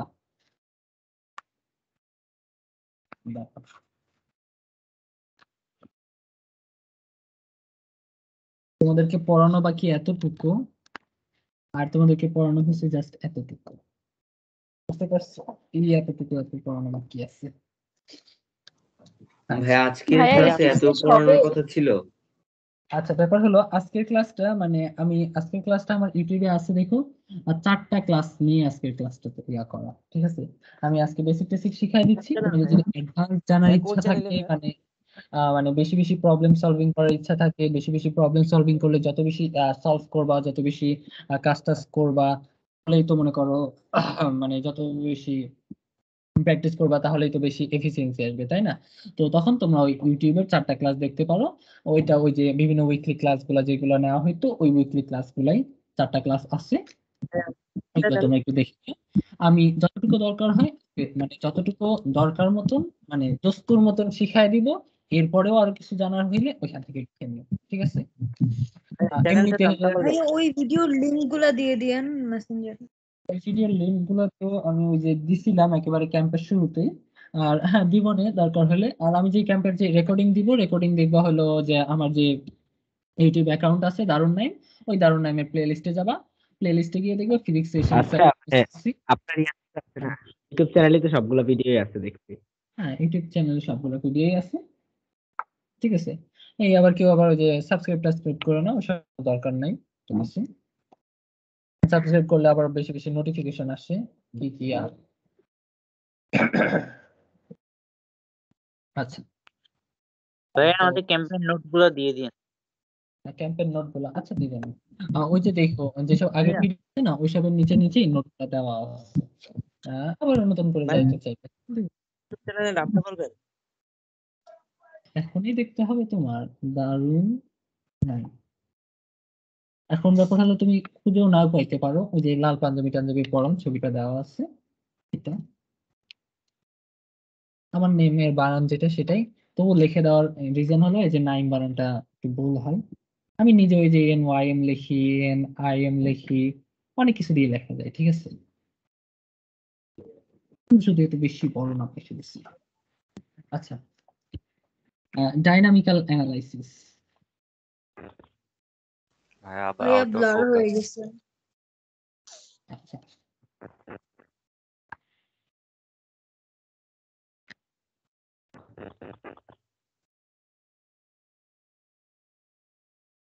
আসে না?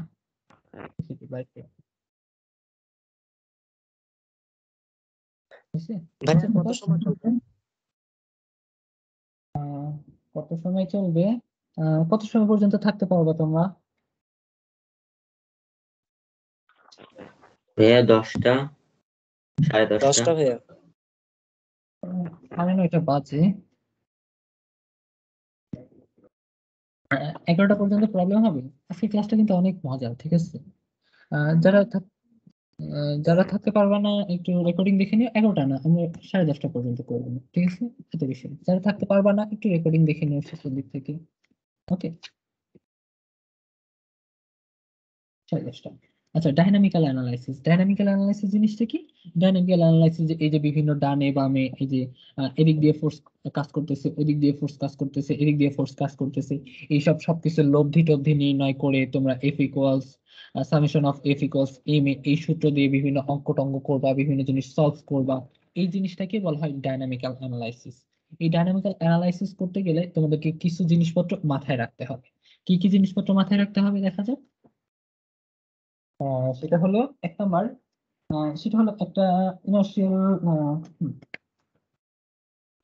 প্রথমে যে জিনিসটা মাথায় রাখতে হবে, সেটা হলো একটা ইনার্শিয়াল রেফারেন্স ফ্রেম ইয়া করতে হবে চয়েস করতে হবে।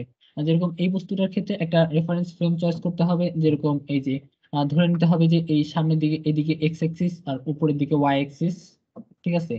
এইদিকে এক্স ওইদিকে মানে এইভাবে এক্স ওইভাবে ওয়াই বা চাইলে এটাকে ওয়াই ধরতে পারো, এটাকেও এক্স ধরতে পারো, তোমার ইচ্ছা, ঠিক আছে? এভাবে ধরে তোমার এটাকে বলে রেফারেন্স ফ্রেম চয়েস করতে হবে। এরপর তোমার ইচ্ছা মতো একটা দিককে পজিটিভ ধরতে হবে। ধরে নিলাম এক্স এক্সিস এর এই উপরের দিকটা হলো পজিটিভ তাহলে নিচের দিকটাকে নেগেটিভ ধরতে হবে। এই ওয়াই এক্সিস এর এই দিকটা ধরে নিলাম নেগেটিভ তাহলে এই দিকটা হবে পজিটিভ ঠিক আছে? এভাবে একটা রেফারেন্স ফ্রেম চয়েস করতে হবে। রেফারেন্স ফ্রেম চয়েস করার পরে এর পজিটিভ নেগেটিভ দিকগুলা ডিফাইন করে নিতে হবে ঠিক আছে? এরপর কি করতে হবে? এরপর করতে হবে এই যে বিভিন্ন, এই যে একটা ফোর্স মনে করো এদিকে কাজ করতেছে একটা ফোর্স যদি এদিকে কাজ করে, এটা তো আমাদের এক্স এক্সিসও পড়ে নাই ওয়াই এক্সিসও পড়ে নাই। তাহলে কি করা যায়? তাহলে ওই যে আমরা একেবারে প্রথমে যেটা দেখাইছিলাম ভেক্টর বিভাজন ভেক্টর বিভাজন পদ্ধতিতে এইদিকে এক্স এক্সিস বরাবর ভাগ করে নিতে হবে ওয়াই এক্সিস বরাবর ভাগ করে নিতে হবে। ব্যাস, কাজটা সোজা হয়ে গেল না? এক্স এক্সিস আর ওয়াই এক্সিসে আলাদা করে ভাগ করে নিলাম। একইভাবে একটা ফোর্স সেটা কাজ করতে পারে এক্স এক্সিস এর নেগেটিভ দিকে কাজ করতে পারে আর ওয়াই এক্সিস এর নেগেটিভ দিকে কাজ করতে পারে। হতে পারে যে এক্স এক্সিস এর পজিটিভ দিকে আগে থেকে আরেকটা ফোর্স কাজ করতেছে, এরকম হতেই পারে। তো এরকম হবে, এরকম হলে, এরকম হবে যে দেখো এটা একটু গোলমেলে হয়ে গেছে চিত্র, আবার এই যে মনে করো এই এই ফোর্সটাকে ভাগ করে এ ভেক্টর এ ভেক্টরকে ভাগ করে এই বরাবর আনছি হলো এ এক্স ওকে আর এই বরাবর আনছি আচ্ছা এখন আমি এই দিক বরাবর ওয়াই এক্সিস দিলাম এই দিক বরাবর এক্স এক্সিস দিলাম। ওকে এই দিক বরাবর আনছি এ এক্স ওকে এবার এই দিকে আরেকটা ভেক্টর আছে, সেটার নাম হলো বি ভেক্টর বি ভেক্টরকে ভাগ করে এই দিক বরাবর একটা আনলাম হলো বি ওয়াই এদিক বরাবর আনলাম হলো পি এক্স ওকে এদিক বরাবর আরেকটা ভেক্টর মনে করো সি যেটা এক্স এক্সিস বরাবরই কাজ করতেছে, ঠিক আছে? বরাবরই কাজ করতেছে এবার কি করতে হবে এক্স এক্সিস বরাবর যেগুলো আছে সেগুলোকে একদম বাংলা যোগ বিয়োগ করতে হবে আমরা ধরে নিলাম এক্স এক্সিস এর এদিকে হলো পজিটিভ আর এদিকে হলো নেগেটিভ তার মানে বুঝতেছি এই বি এক্সটা আছে নেগেটিভ দিকে আর এ এক্স আর সি আছে পজিটিভ দিকে যদি তাহলে আমরা এক্স এক্সিস নিয়ে কথা বলি তাহলে এই যে summation of F X summation of F X দিয়ে কি বোঝাচ্ছি এক্স এক্সিস এর দিকে যেসব ফোর্স আছে সেসব নিয়ে আমরা কথা বলতেছি সেসবের সাথে কীভাবে সামেশন করতে পারি এই যে পজিটিভ দিকে আছে এক্স সো পজিটিভ মানে সামনে একটা প্লাস প্লাস তো দেওয়া লাগে না, সামনে হলো। এরপরে সি সবগুলো তো ভেক্টর দিলে ভালো হয়। তারপর সি তারপর এই বি এক্স কি? নেগেটিভ দিকে আছে না? নেগেটিভ দিকে আছে। সো মাইনাস বি এক্স এরপরে ওয়াই এক্সিস এর কথা বলি। ওয়াই এক্সিস এ বি ওয়াই কাজ করতেছে নেগেটিভ দিকে। Summation of F Y minus B Y B Y কাজ করতেছে নেগেটিভ দিকে এ ওয়াই করতেছে কি পজিটিভ এই এরকম বাংলা যোগ বিয়োগ করতে হবে, ঠিক আছে? বাংলা যোগ বিয়োগ আমরা কেন করতে পারতেছি? দেখো, একই লাইনে কাজ করতেছি সবগুলা ফোর্স তাই না? সবগুলা ফোর্সকে কম্পোনেন্টে ভাগ করে আমরা একই লাইনে নিয়ে আসছি। যেহেতু এর দিকে একই লাইনে মানে একই ধারক রেখা বলে এটাকে, একই ধারক রেখায় বা একই ধারক রেখা ইংলিশ কি জানো? ইংলিশ হলো সাপোর্ট লাইন একই সাপোর্ট লাইনে এরা কাজ করতেছে তার মানে এদেরকে আমরা সহজে একেবারে যে ভেক্টরের যোগ টোক যেগুলো আমরা তিনটায় পড়ে আসলাম ওগুলো কাজে না লাগে সহজ ভাবে একদম বাংলা যোগ করতে পারি ওকে ওই এটাও হলো ওই লিটারালি বাংলা যোগী। মানে ওই যে ভেক্টরের যোগী তো বাংলা যোগ বলে একটু এটা হলো এক নাম্বার। এবার দুই নাম্বারে কি হবে? দুই নাম্বারে হলো আহ, কে কিছু বলবা? আপনি এফ এক্স লিখছিলেন যে A X vector plus C X vector minus B X vector সিটা কেন হইল? সি ভেক্টরটা কাজ করতেছিল হলো এই যে এই বরাবর এই এক্সের দিকে তাই না? সেটা কি এক্সের দিকে কাজ করতেছিল না? তাহলে এক্স মাইনাস বি এক্স হবে না শুধু।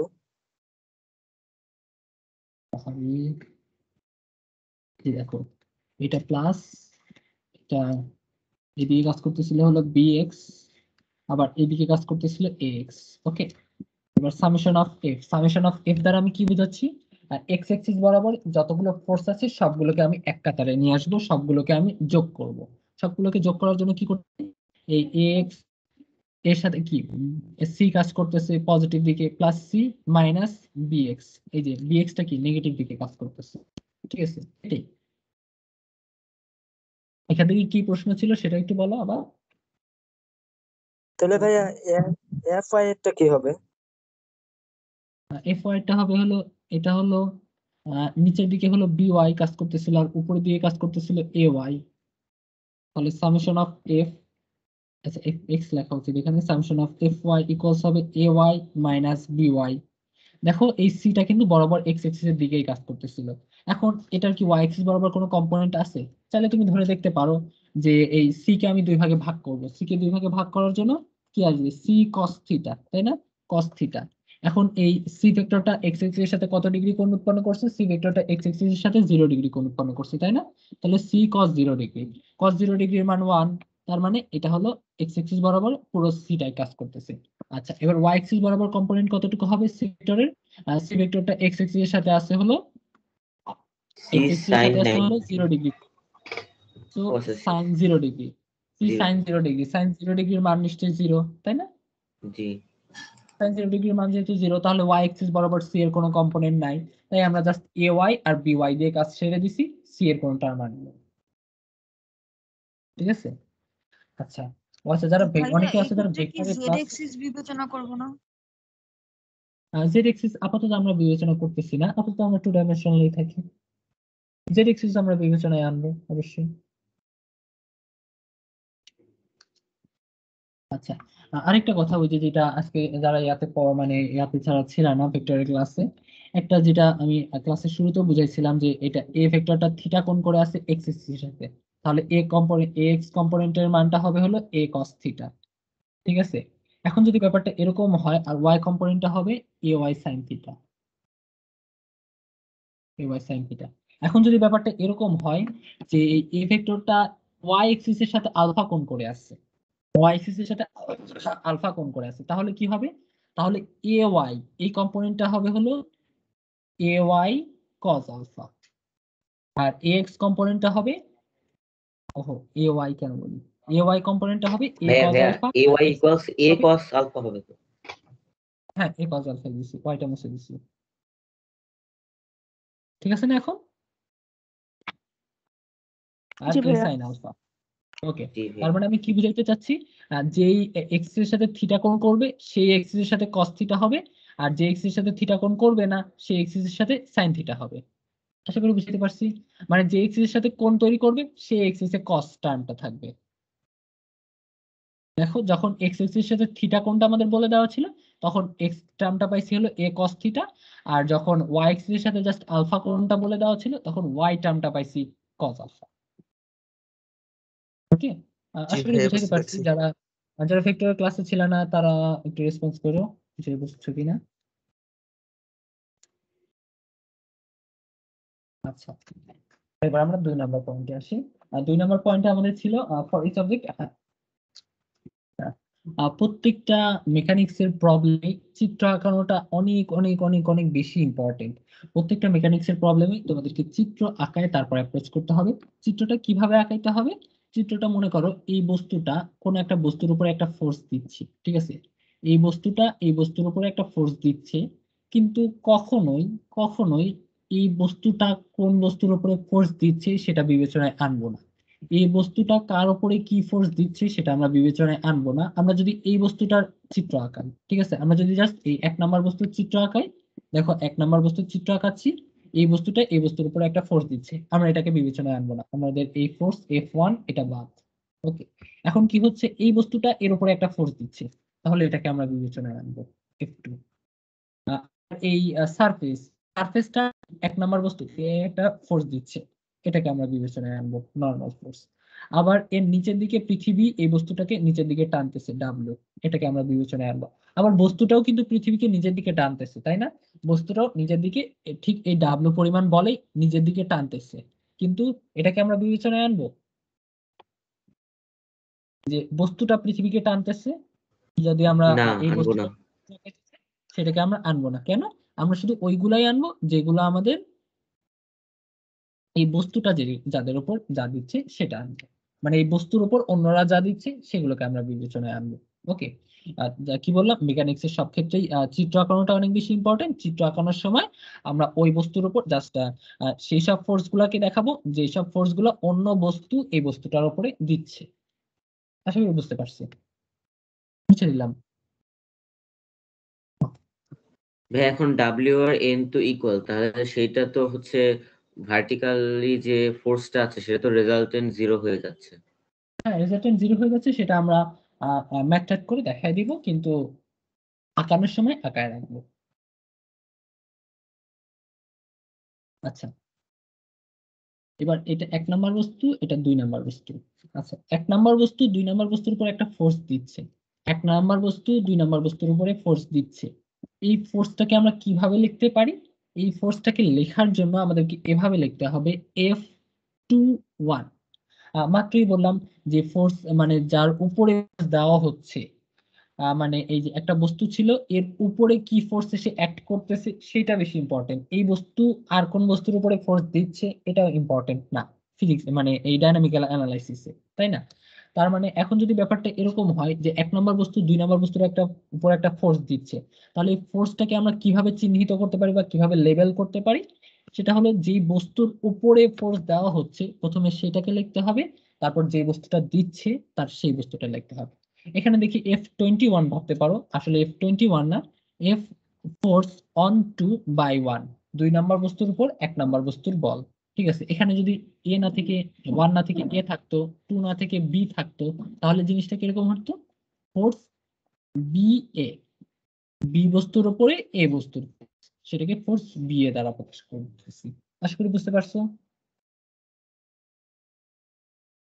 একইভাবে এই বি। বস্তুর উপরে বি বস্তু যদি এ বস্তুর উপরে একটা ফোর্স দেয় সেটাকে আমরা এফ এ বি দ্বারা প্রকাশ করব। এ বস্তুর উপর প্রয়োগ করা হচ্ছে বি বস্তু দিচ্ছে। আচ্ছা আবারও কিছু বলবা ওই যে মুর্শিরা ভাইয়া এখানে এফ বি এর ক্ষেত্রে এখানে ভরটা কার নিব? এই বস্তুর ভর নিব না। হ্যাঁ। এই কোনটা? এফ বি এ এটার ক্ষেত্রে? জি ভাইয়া। এটার ক্ষেত্রে নিব হলো যার উপরে ফোর্স প্রয়োগ করা হচ্ছে এটার। ঠিক আছে? ঠিক আছে। এটার উপরে প্রয়োগ করা হচ্ছে। নিশ্চয়ই তাহলে এটারই ত্বরণ হবে তাই না? যদি ত্বরণ হয় এটার তাহলে নিশ্চয়ই ম্যাসও নিতে হবে এটার তাই না? জি ভাইয়া। আচ্ছা এবার বলতে হলো হ্যাঁ ফর ইচ বডি আচ্ছা ওই যে আমি দ্বিতীয় নম্বরে যেটা করছিলাম যে সামেশন অফ এফ এক্স দিয়ে X minus B X plus C এরকম একটা ছিল না? দুই নম্বরে মনে? হ্যাঁ এরকম একটা ছিল। আর সেটা হলো এটা কি? একটা সামেশন না? এই সামেশন অফ এফ এক্স লব্ধি বল এটার পরিবর্তে আমরা লিখতে পারব এম এ তাই না?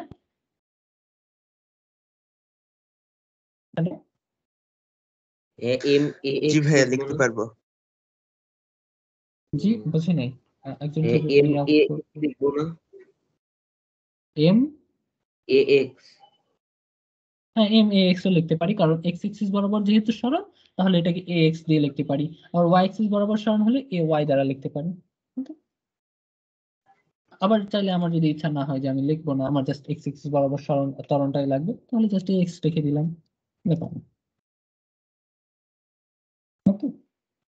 তো আশা করি বোঝা গেছে সবকিছু? প্রশ্নটা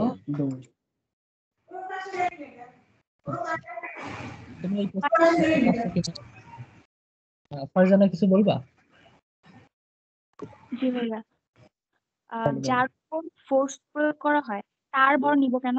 মানে সাপোজ একটা ইট যদি ছুড়ে মারা হয় হ্যাঁ?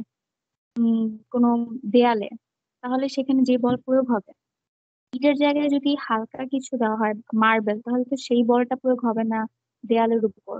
তাহলে সেই ক্ষেত্রে তো ইট বেশি বল প্রয়োগ করে আর মার্বেল কম বল প্রয়োগ করে, কারণ ইটের ভর বেশি, মার্বেলের ভর কম। তাহলে ফোর্স যখন কাউন্ট করি তো যেই যেটা আমরা ছুঁড়ে মারবো, সেটার ভরটা আমরা কাউন্ট করতেছি। মানে যার উপর ফোর্স, সেটার ভর তো কাউন্ট করি না। আচ্ছা। প্রথমে এটা চিন্তা করো তুমি একটা ইটকে ছুঁড়ে মারতেছো ওকে ইটকে তুমি একটা ইটকে ছুঁড়ে মারতে হলে এটার উপর কতটুকু ফোর্স দিতে হবে?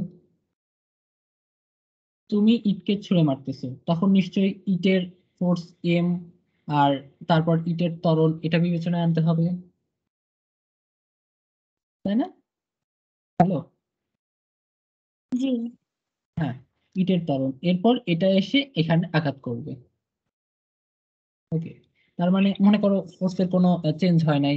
যতটুকু ফোর্স দিয়ে ছুঁড়ে মারছিলে, ততটুকু নিয়ে এসেই এটা আঘাত করছে। আচ্ছা। তো এই আবার একইভাবে মনে করো আরেকটা যে কি বলব ওই একই, আগেরটার মতোই আঁকাই আবার একইভাবে ওই একটা মার্বেল কি, একটা মার্বেলকে এভাবে ছুঁড়ে মারতেছে। এম, ঠিক আছে? আচ্ছা এখন এটা বিবেচনা করো যে উভয় ক্ষেত্রেই কি তুমি আহ, একই ত্বরণে মারবা? আর যদি উভয় ক্ষেত্রে একই ত্বরণে মারো তাহলে নিশ্চয়ই মার্বেলটাকে মারতে কম ফোর্সের দরকার হয়েছে। না আমি যদি ইট আর মার্বেল একই ফোর্সে ছুঁড়ে মারি? হ্যাঁ, ইটার মার্বেল যদি একই ফোর্সে ছুঁড়ে মারো আচ্ছা তাহলে এটা একইভাবে আঘাতপ্রাপ্ত হবে। ঠিক আছে? ইটের দ্বারা আঘাত করলে বেশি মানে বেশি বল প্রয়োগ করার কথা না। মানে দেয়ালটা বেশি বল ছুঁড়ে মারি জোরে মারতেছে না? মার্বেলকে অনেক জোরে করে মারতেছো না? এই তো এটাই। আর ব্যাপার হলো তুমি যেভাবে প্রবলেমটাকে সাজাইছো এটা হলো পুরোটাই হলো মোমেন্টামের প্রবলেম ওকে এভাবে পুরোটাই হলো মোমেন্টামের জিনিস দিয়ে ব্যাখ্যা ট্যাখ্যা করতে হবে। আর যাই হোক আরেকটু পর পর ধীরে ধীরে পড়াশোনা করতে গেলে তোমরা বুঝবে কেন যে বস্তুটার উপরে বল প্রয়োগ করা হয়, আমরা তার ভর নিব। এটা একটু মানে ইয়া করলে বুঝে যাবা। আর তোমরা এখন বলতেছো যে এই যে ইটটাকে মারবো এই ইয়াটা আচ্ছা তোমার মাইক থেকে আসতেছে, তোমার মাইক ইটটাকে মারবো, ইটটাকে একই ফোর্সে মারলাম, এইটাকেও একই ফোর্সে মারলাম, ঠিক আছে? দুইটার ফোর্সই এক। তার মানে এই যে এটার উপর একই পরিমাণ ফোর্স প্রয়োগ করা হচ্ছে উভয় ক্ষেত্রেই। আমি বলটাকে একই ফোর্স দিচ্ছি এই একই ফোর্স নিয়ে এটা এখানে আঘাত করছে এটাও এখানে আঘাত করছে। ওকে হ্যালো হ্যাঁ কিন্তু দেয়াল বেশি বল অনুভব করবে না যখন ইট ছুঁড়ে মারবো। হ্যাঁ কেন দেয়াল বেশি বল অনুভব করবে? মানে সাপোজ যদি আহ কি বলে ক্রিকেট খেলার টাইমে সাপোজ আমি একটা বল ছুঁড়ে মারবো একটা বল ছোট একটা বল অনেক বড় একটা বল ভারী একটা বল কম ওই ক্ষেত্রে যে বলটা বড় সেই বলটা যখন আমি একই ফোর্সে মারবো, তখন যদি কেউ বড় বলটা ক্যাচ ধরে, তখন সে বেশি বল অনুভব করবে না। যদি কেউ ছোট বলটা ক্যাচ করে তার তুলনায়। এখন ব্যাপার হলো যদি ক্রিকেট খেলার সময় যদি যে বড় বলটা ক্যাচ করবে, এটা পুরোটাই হলো মোমেন্টামের উপর দিয়ে চলে গেছে।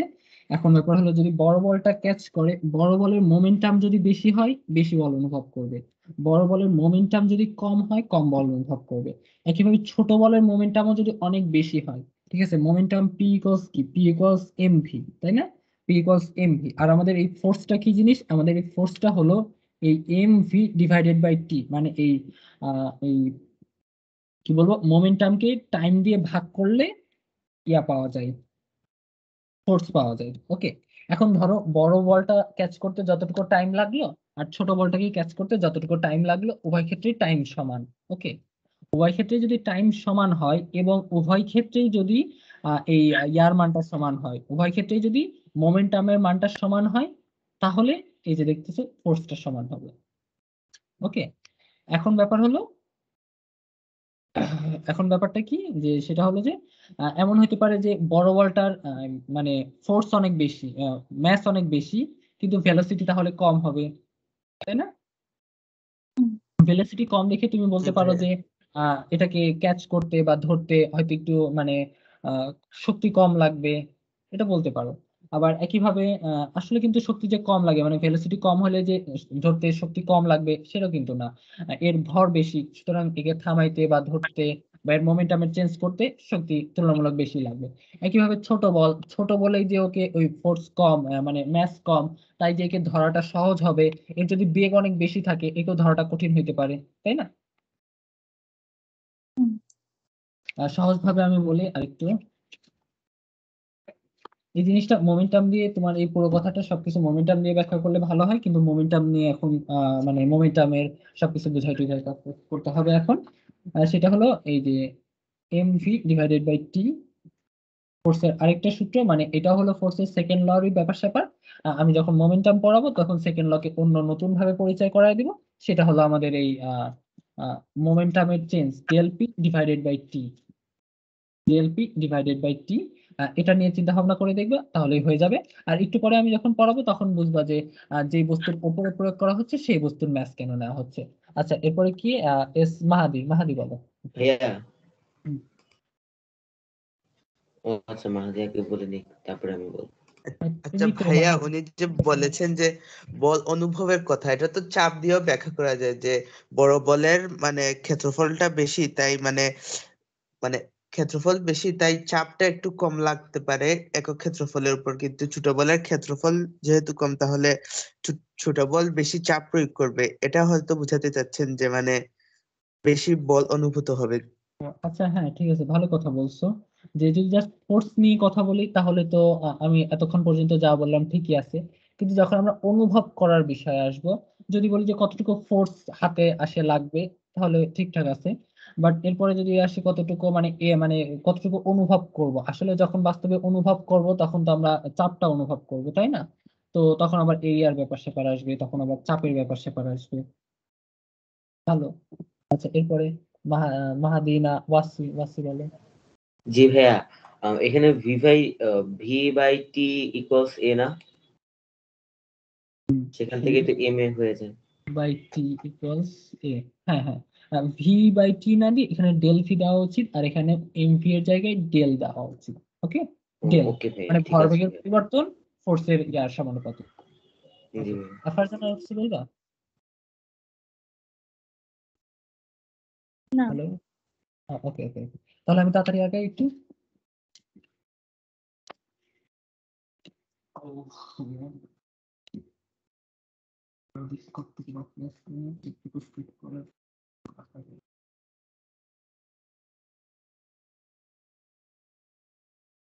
ভাইয়া আজকের ক্লাসটাতে কি ক্যালকুলাসের ব্যাপার স্যাপার আসবে? ও না আজকের ক্লাসে ক্যালকুলাসের ব্যাপার স্যাপার আসবে আচ্ছা যাই হোক একটা কথা আমি বলতে ভুলেই গেছি যে ভিক্টর এই ক্যালকুলাসের জিনিসপত্র আমরা এই আমাদের ক্যাম্পে রাখি নাই। ক্যালকুলাসের আমি রেকর্ডেড ক্লাস দিছিলাম না। ক্যালকুলাসের ওই রেকর্ডেড। ক্লাসগুলো একটু দেখতে থাকো, ঠিক আছে? ক্যালকুলাসের রেকর্ডেড ক্লাসগুলো দেখতে থাকো, কারণ কালকে যে অসিলেশনের ক্লাস আছে, ওইখানে তোমাদের ক্যালকুলাস একটু একটু লাগবে, এরপরে সামনে থার্মোডাইনামিক্স এর ক্লাস ওখানেও ক্যালকুলাস একটু একটু লাগবে, তো ওই একটু একটু একটু একটু করে ক্যালকুলাস ওখানে বোঝানো আছে, আর চারটা হয়তো বড় বড় ভিডিও আছে, যেটা হলো দুই ঘণ্টার, দুই ঘণ্টা আর তিনটা আছে হলো ছোট ছোট দশ মিনিট, পাঁচ মিনিটের ভিডিও এই সবগুলো দেখতে তোমাদের খুব বেশি একটা টাইম লাগবে না, তোমরা ধীরে ধীরে করতে থাকবে এগুলো, ঠিক আছে? ক্যালকুলাস আচ্ছা। ওকে আচ্ছা এবার আসি হলো ডাইনামিক্যাল অ্যানালাইসিসে একটা স্যাম্পল প্রবলেম দেখি, সেটা হলো একজন মানুষ আছে।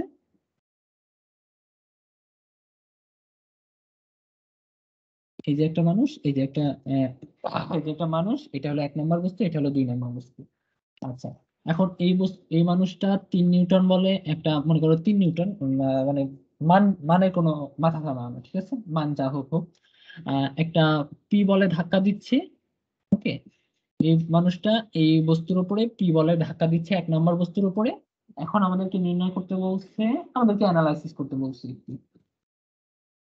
ওকে অ্যানালাইসিস করে আমাদের এক্সিলারেশনটাকে বের করতে বলছে। এক্সিলারেশন বের করার জন্য এক নম্বর বস্তুর ভর দেওয়া আছে হলো ফোর পয়েন্ট টু দুই নম্বর বস্তুর ভর দেওয়া আছে ফোর পয়েন্ট টু কেজি আর one point four kg. Okay, উভয় পাশে কেজি কেজি লিখে নিও আর এই পি বলের মান দেওয়া আছে তিন নিউটন। ওকে এখন এক্সেলারেশন আমরা কীভাবে বের করতে পারি? আমরা চলো প্রথমে এক নম্বর বস্তুকে বিশ্লেষণ করি। এক নম্বর বস্তুকে যদি বিশ্লেষণ করি, এক নম্বর বস্তুটা এইভাবে এদিকে ধাক্কা দেওয়া হচ্ছে, এই যে ওয়ার্কার দিচ্ছে। তাহলে এটাকে কীভাবে লিখতে হয়?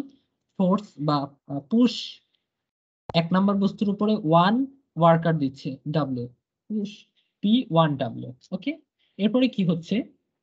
এরপরে এই এক নম্বর বস্তু কি দুই নম্বর বস্তুকে একটা ধাক্কা দিবে না? হ্যালো বলো তাড়াতাড়ি তাড়াতাড়ি কথা বলো কথা বলো। জি ভাইয়া। নম্বর বস্তু দিয়ে দুই নম্বর ভাইয়া দিবে। তো দুই নম্বর বস্তুকে ছেড়ে দিবে? দুই নম্বর বস্তু পিছনের দিকে একটা প্রতিক্রিয়া বল দিয়ে দিবে তাই না? হ্যাঁ। হ্যাঁ তো আমি কি এই যে এক। নাম্বার বস্তু দুই নাম্বার বস্তুকে যেটা ধাক্কা দিচ্ছে? আমি যখন জাস্ট এক নাম্বারটা নিয়ে কথা বলতেছি বা এক নাম্বারটাকে বিশ্লেষণ করতেছি তখন কি এই এক নাম্বারটা দুই নাম্বারটা কি কি দিচ্ছে সেটা বিবেচনায় আনব? অবশ্যই না। তাই না? না। না। জি না ভাইয়া। আমরা এটা আনব যে দুই নাম্বারটা একে একটা ধাক্কা দিচ্ছে। তাহলে force on one by two তাই না? আচ্ছা আমি যদি এই দিকে ধরে নিই পজিটিভ তাহলে এই দিকে নেগেটিভ ওকে তাহলে এক নাম্বার বস্তুর ক্ষেত্রে for one summation of F X মানে এটাকে এক্স এক্সিস বা হরিজন্টাল এক্সিস ধরতেছি। হরিজন্টাল এক্সিস বরাবর এই যে আমি বলছিলাম যে এক্স এক্সিস বা এক্সিস বলে কিছু নাই, আমরা বাস্তব জগতে কি করি? আমরা বাস্তব জগতে সাধারণত ইয়া মানে ভূমির সমান্তরালে কোনো কিছুর চলন টলন ইত্যাদি ইত্যাদি বিষয় নিয়ে মাথা কামাই তাই না? এই ভূমির সমান্তরালে যেসব কাজবাজ হয়, সেটাকে বলা হয় হরিজন্টাল এক্সিস বা হরিজন্টাল জিনিসপত্র। হরিজন্টাল এক্সিস আর মানে আমাদেরকে কোনো ফ্যাক্টরকে উপাংশে বিভাজন করার সময় আমাদের সুবিধা হয় যে ইয়ার একটা যেটা থাকে তার নাইনটি ডিগ্রিতে আরেকটা নেওয়া, তাই না? এর জন্য আমরা হরিজন্টালের সাথে নাইনটি ডিগ্রি করে আরেকটা নেই, উপাংশ। কোন একটা ভেক্টরকে ভাগ করার সময় একটা নেই হলো ভূমির সমান্তরালে। কারণ কি? ভূমির সমান্তরালে আমাদের আসল মাথা ব্যথা। তো ভূমির সমান্তরালের বাইরে আমরা আরেকটা নেই। এটা ঠিক রাখার জন্য যে ওই এক ভাগ যাবে আমার হরিজন্টালে বাকি এক ভাগ ঠিক তার সাথে নাইনটি ডিগ্রি কোণ করে যাবে। তো বাকি যে এক ভাগ ঠিক নাইনটি ডিগ্রি কোণ করে যায়, সেটাকে আমরা বলি হলো ভার্টিক্যাল এক্সিস ওকে তো এই ভার্টিক্যাল Yeah. ওয়াই প্রকাশ করা হয় আর হরিজন্টাল এক্সিসকে এক্স দ্বারা প্রকাশ করা হয়। তো আমি এখন হরিজন্টাল এক্সিসের কথা বলি বা ভার্টিক্যাল এক্সিসের কথা বলি তখন তোমরা বুঝে নিবে এক্স এক্সিস ওয়াই এক্সিস এসবের কথা বলতেছি। আচ্ছা তো এফ অফ এক্স দিয়ে কি বুঝাচ্ছি? এই যে এক নম্বর বস্তুর ক্ষেত্রে P one W minus F one two okay এবার আসলে আমরা দুই নম্বর বস্তুকে বিশ্লেষণ করি। দুই নম্বর বস্তুকে যদি বিশ্লেষণ করি দুই নম্বর বস্তুর উপর মনে হয় একটাই বল কাজ করতেছে সেটা হলো এক নম্বর বস্তু একে ঠেলা দিচ্ছে তাই না? এখানে একটা ওয়ান লেখা জি ভাইয়া। F two X summation of F two X তাহলে এটা হলো ফোর্স টু ওয়ান ওকে এবার আমাদেরকে বলছিল হলো ইয়াটা বের করতে M one A M two A F two one আচ্ছা এখানে আমি এ এর সাথে এ ওয়ান এ টু ইত্যাদি কিছুই দিলাম না। কেন দেইনি? আচ্ছা তোমাদের কি এটাতে কোনো সন্দেহ আছে যে এইভাবে যদি দুইটা বস্তুকে একসাথে রেখে দেই এরপর যদি এটাকে ধাক্কা দেওয়া শুরু করি দেখি। এরপর যদি এটাকে ধাক্কা দেওয়া শুরু করি তাহলে দুটার ত্বরণ কি একই হবে না? হ্যালো? ভাইয়া দুইটা বস্তু যদি লাগানো থাকে তাহলে তো একই হবে। হ্যাঁ দুটো বস্তু লাগানো আছে তাহলে তাদের ত্বরণ একই হবে। এক নম্বর বস্তু দুই নম্বর বস্তুকে একসাথে লাগানো ছিল এরপরে ওয়ার্কারটা পিছন দিক দিয়ে ঠেলা দিচ্ছিল তাই না? হ্যাঁ। তার মানে এদের ইয়াটা একই হবে। তাহলে চলো আমরা এই এক নম্বর সমীকরণ আর দুই নম্বর সমীকরণকে একসাথে যোগ করে ফেলি। কোথায় যোগ করব? এই যে উপরের দিকে যোগ করি একটু। এটা হলো M one A plus M two A it equals P one W F one two P one W plus minus ভাইয়া ত্বরণ একই হলেও বল প্রযুক্ত বল কি একই হবে দুইটারই? না প্রযুক্ত বল তো একই হবে না। দুটার ভর ভিন্ন হবে সুতরাং দিন শেষে দুইটার ত্বরণ একই হবে। বুঝতে পারছি? যে দুটার উপর প্রযুক্ত বল একই হবে না, কিন্তু দুটার আবার ভরও একই হবে না। ভর ভিন্ন হবে, আবার দুটার উপর প্রযুক্ত বলও ভিন্ন হবে। কিন্তু দিন শেষে ত্বরণ এক হবে। ওয়ান টু আর এই যে এফ টু ওয়ান আশা করি সবাই বুঝতে পারছ জাস্ট যোগ করছি দুইটা। ওকে এখন দেখো, এই যে এই দুইটা হলো আমার অ্যাকশন রিঅ্যাকশন ফোর্স তাই না? এই দুটো হলো আমাদের অ্যাকশন রিয়াকশন ফোর্স যদিও এই দুটো আলাদা এবং পরস্পর বিপরীত দিকে ক্রিয়া করতেছে সুতরাং এদেরকে আমরা কেটে দিতে পারি না। মান নিয়ে বিবেচনা করি ওকে জাস্ট একই রেখায় কাজ করতেছে সুতরাং এর দিক নিয়ে মাথা ঘামানোর কোনো দরকার নাই। জাস্ট মান নিয়ে বিবেচনা করলে এরা মানের সমান তাই না? সুতরাং এই দুটা কাটা জাস্ট পি ওয়ান ডাব্লিউ এটা আমাদের হাতে থাকল। তো এক্সেলারেশন এটাকে রেখে এম ওয়ান মানে এ কমন নিয়ে M one plus M two কে এই পাশে পাঠিয়ে দিলে P one W divided by M one plus M two ব্যাস হয়ে গেল। এখানে তিন নিউটন আর যে ফোর পয়েন্ট টু আর ওয়ান পয়েন্ট ফোর কেজি এই দুটোকে যোগ করে তোমরা অ্যান্সার পেয়ে যাবে। Four point two four point two plus one point four এর যোগ করে তোমরা এক্সেলারেশনের মানটা সহজেই পেয়ে যাবে। আশা করি বুঝছ? Four point two plus one point ফোরই কেন দেওয়া হইল? এখানে একটা এমন একটা মান দিলেই তো হইতো যেন এটা একটা ইয়া হয়। এটা হলো ম্যাথের এর প্রশ্নে যেমন দেওয়া ছিল সেরকমই আমি দিচ্ছি এই আর কি। ওকে আর এই মাথা মান নিয়ে তো মাথা ঘামায়ও না ওকে এরপরে আসা হলো স্যাম্পল প্রবলেম প্রবলেম সেভেনে এখানে জিনিসটা এমন ছিল যে এই যে একটা বস্তু আছে এর সাথে দড়ি দিয়ে লাগানো আছে আরেকটা বস্তু এর সাথে দড়ি দিয়ে লাগানো আছে আরেকটা বস্তু এরপর এটাকে দড়ি দিয়ে তুমি এইভাবে টানতেছো। কি বলে টানতেছো? এটা এটা এক নাম্বার এটা দুই নাম্বার এটা তিন নাম্বার ঠিক আছে? এখন আমাদের কাছে জানতে চাইছে পি এর মানও দেওয়া আছে আহ, দেখি পি এর মান দেওয়া আছে হলো six point five newton M ওয়ানের মান দেওয়া আছে হলো three point one kg M two এর মান দেওয়া আছে two point four kg M এর মান দেওয়া আছে one point two kg okay আমাদের কাছে কি কি জানতে চাইছে? আমাদের কাছে জানতে চাইছে হলো এক্সেলারেশন এর মান কত? আমাদের কাছে জানতে চাইছে এফ থ্রি টু এটার মান কত? আমাদের কাছে জানতে চাইছে এফ টু ওয়ান এটার মান কত? ওকে তো সুন্দরভাবে কাজটা করি। আর প্রথমে আমরা তিন নাম্বার বস্তুকে নিয়ে বিশ্লেষণ করি। প্রথমে আমরা যদি তিন নাম্বার বস্তুকে এই পর্যন্ত হ্যাঁ এদিকে তো দেখাই যাচ্ছে, তাই না? হ্যাঁ এদিকে খুব সুন্দরভাবে দেখা যাচ্ছে। প্রথমে তিন নাম্বার বস্তুকে নিয়ে যদি বিশ্লেষণ করি, এখানে আমাদের তিন নাম্বার বস্তু ছিল। দেখো, এই যে এখানেই দেখাই আগে। প্রথমে রাফ দেখাই এখানেই। তিন নাম্বার বস্তুটাকে এদিকে একবার টানতেছে তাই না? এই দুই নাম্বার বস্তু তিন নাম্বার বস্তুকে টানতেছে। তিন নাম্বার বস্তু দুই নাম্বার বস্তুকে টানতেছে সেটা হবে এফ থ্রি টু তাই না? এফ থ্রি টু আবার দুই নাম্বার বস্তুকে ছেড়ে দিবে তাই না? তিন নাম্বার বস্তুকে ছেড়ে দিবে। তিন নাম্বার বস্তু কি? বিপরীত দিকে আবার একটা প্রতিক্রিয়া বল দিবে তাই না? হ্যালো জি জি ভাইয়া। তিন নাম্বার বস্তু একইভাবে এই দুই নাম্বার বস্তুকে এক নাম্বার বস্তু টানতেছে? এক নাম্বার বস্তুকে আবার ছেড়ে দিবে। এই পিছনের দিকে একটা ফোর্স দিবে দুই নাম্বার বস্তু। আবার এই এক নাম্বার বস্তুর উপর তো এই পি বলের এক নাম্বার বস্তুকে তুমি নিজেই টানতেছো। আবার এই দুই তখন এক নাম্বার বস্তু তোমাকে ভাইয়া ওয়াসি নামের কেউ একজনের মাইক থেকে শব্দ আসতেছে। ওয়াসি কি আসতেছে? শব্দ ওয়াসি ভাইয়া আমার না অন্য কেউ মনে হয়। আমার তো মাইক অফই ছিল। হবে কিছু একটা যাই হোক। এখন আমার মাইক ওপেন আছে কারণ মাইক ওপেন নাই। আচ্ছা এইভাবে আবার পিছনের দিকে টানতেছে। এটুকু তো বোঝা গেছে। আমি এগুলো কেটে দিলাম আপাতত। ওকে তো এই যে এই ফোর্সটাকে কি বলতেছি? এই ফোর্সটাকে আমরা বলতেছি এফ থ্রি টু এই ফোর্সটাকে কি বলতে পারি? দুই নাম্বার বস্তুকে এক নাম্বার বস্তু টানতেছে। তাহলে দুই নম্বর বস্তুর উপর প্রযুক্ত হচ্ছে এক নম্বর বস্তুর বল এফ টু ওয়ান তো এবার এটাকে আমি পি দিয়ে বলতেছি পি কে আবার আরও সুন্দর করে বলতে পারি এফ ওয়ান ডাব্লিউ একজন ওয়ার্কার টানতেছে এক নম্বর বস্তুকে। তো এই যে এক নম্বর বস্তুকে ওয়ার্কার টানতেছে, তো এটাকে আবার ফিরায় দিচ্ছে কি? ফিরায় মানে ওই যে ক্রিয়া, প্রতিক্রিয়া বলের একজন ইয়া, সেটা কি? এফ ডাব্লিউ ওয়ান তাই না? ওয়ার্কারকে পিছনের দিকে টানতেছে হলো এক নম্বর বস্তু। একইভাবে এক নম্বর বস্তুকে দুই নম্বর বস্তু টানতেছিল মানে দুই নম্বর বস্তু এক নম্বর বস্তুকে টানতেছিল, তো দুই নম্বর বস্তু ছেড়ে দিবে না। দুই নম্বর বস্তু কি করবে? তুইও পিছনের দিকে আয়। তাহলে সেটা কীরকম হবে? এফ ওয়ান টু আবার একইভাবে তিন নাম্বার বস্তু, বস্তুকে দুই নাম্বার বস্তুর সামনের দিকে টানতেছিল, তিন নাম্বার বস্তু ছেড়ে দিবে না, তিন নাম্বার বস্তু একটা প্রতিক্রিয়া বল দিবে, সেটা কি হবে? এফ টু থ্রি তাই না?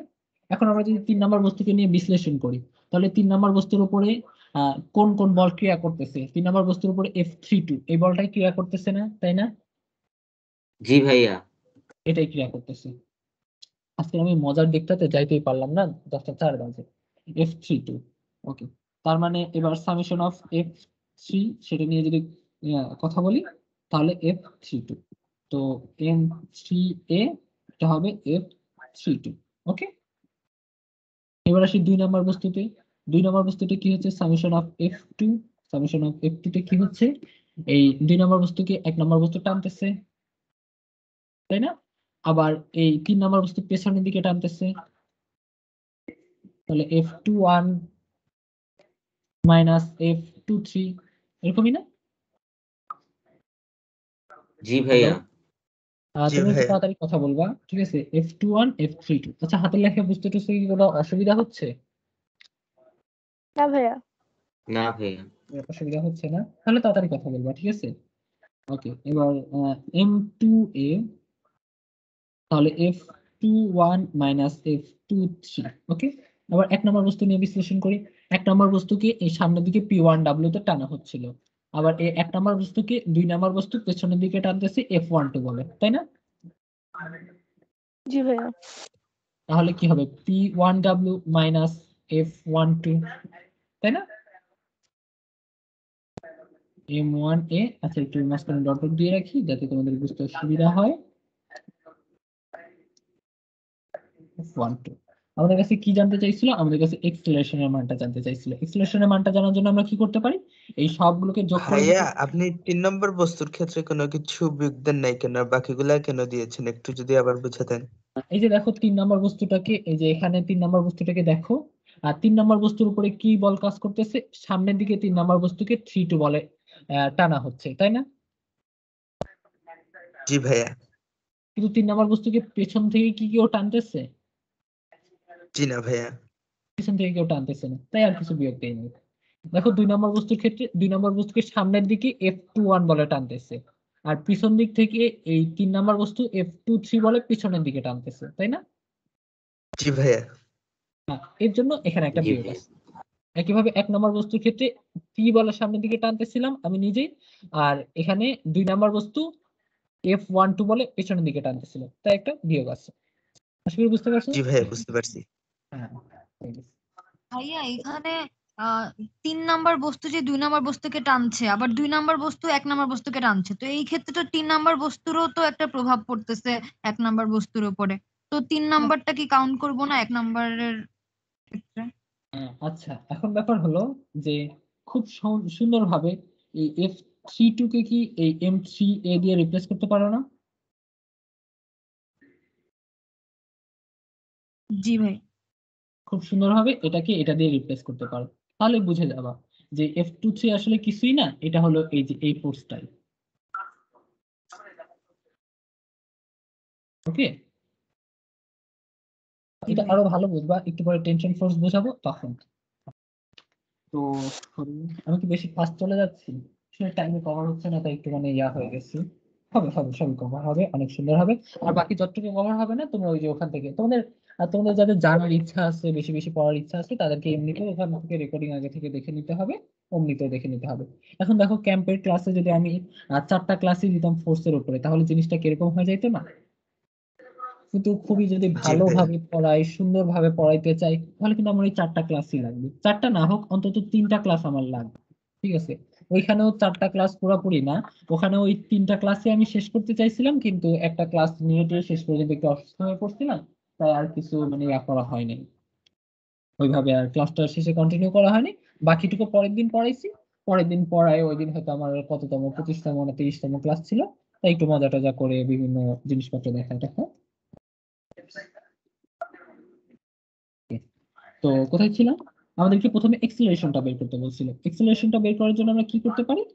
এক্সেলারেশন বের করার জন্য আমরা এই যে এইগুলোকে যোগ করে দিতে পারি। M three A M two A plus M one A it equals F three two এই যে এটা প্লাস এটা প্লাস এটা, তাই না? F three two plus F two one minus F two three plus F one W minus F one two দেখো এই যে আমাদের এই ফোর্স আর এই ফোর্সটা কি সমান না? সমান। এবং এরা বিপরীত সাইনে আছে। আমরা যদি জাস্ট মান নিয়ে এখন বিবেচনা করি তাহলে এই দুটা নাই কাটা। আবার দেখো আমাদের এই যে এই ফোর্স আর এই ফোর্সটা কি সমান না?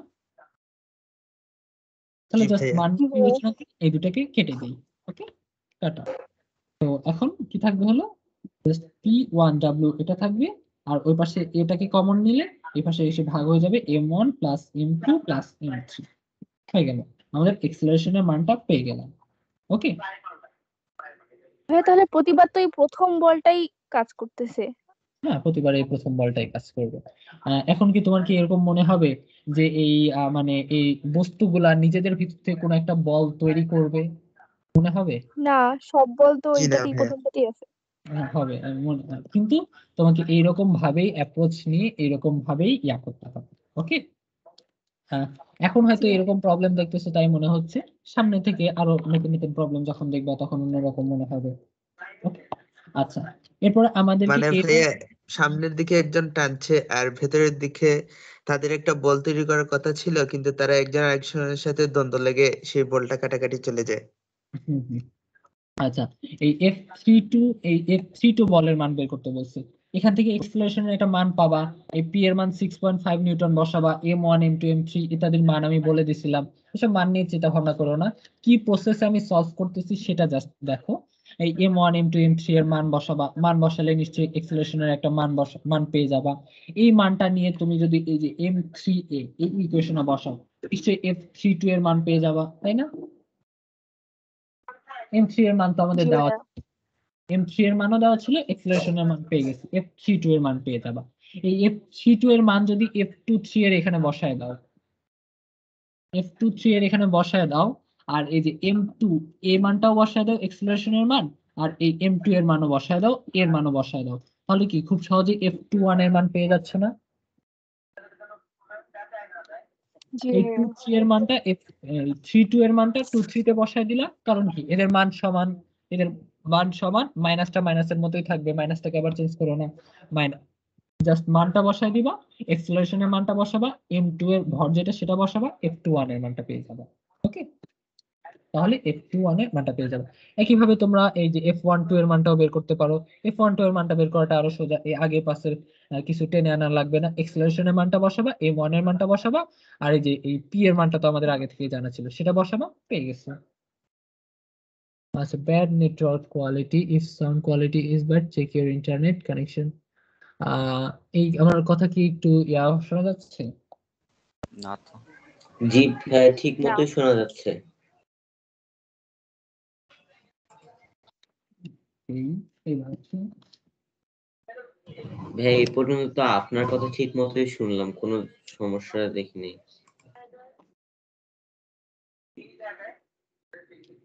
আচ্ছা এবার আসো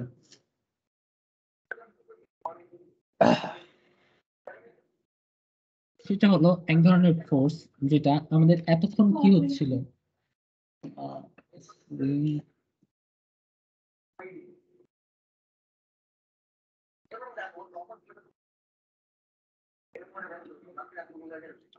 কত কষ্ট করে কত ফোর্স দিছিলাম তাই না? এদিকে একটা এদিকে একটা এদিকে একটা এদিকে একটা এদিকে একটা এদিকে একটা। একটু সুবিধা হইতো না যদি সব ফোর্স গুলোকে নাই করে দিতে পারতাম?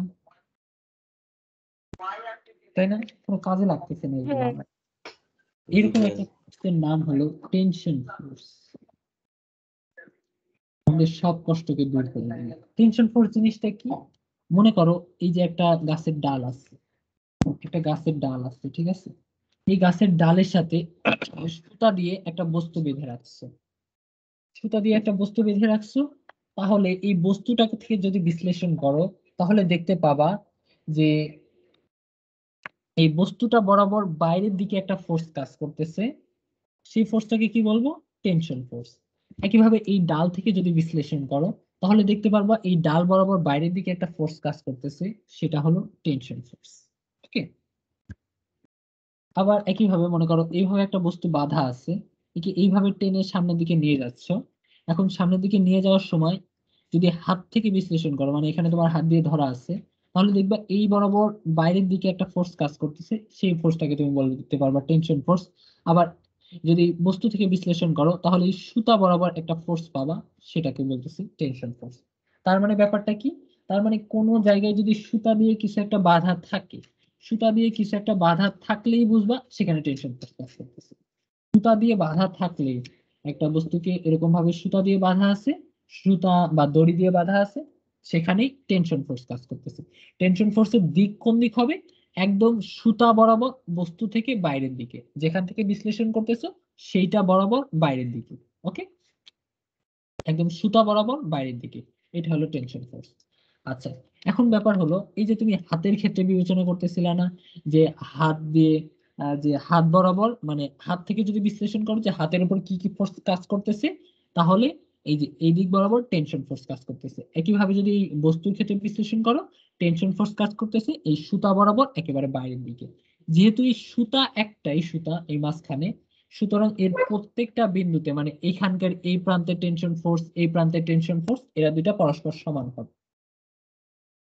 এখন একটা প্রশ্ন থাকে যে একটা সুতাই এই যে মনে করো এটা একটা বড় সড়ো সুতা আঁকাইলাম, সুতার এই প্রান্তে টেনশন ফোর্স এই প্রান্তে টেনশন ফোর্স মাঝখানে টেনশন ফোর্স এই সাইডে টেনশন ফোর্স দুই সাইডে টেনশন ফোর্স সবখানে টেনশন ফোর্স সমান হবে, ঠিক আছে? আচ্ছা এই টেনশন ফোর্স বলতে আমি কিন্তু ওই যে আগের ফোর্সগুলার কথাই বোঝাচ্ছি, ঠিক আছে? এই যে F F two one F one two F three two F two three এই যে এগুলো যেগুলো ছিল না? হ্যালো আচ্ছা তোমরা? এই যে আমাদের, এই যে, এই যেগুলা ফোর্স ছিল না, আমি টেনশন ফোর্স বলতে কিন্তু এই ফোর্স গুলাকেই বুঝাচ্ছি, ঠিক আছে?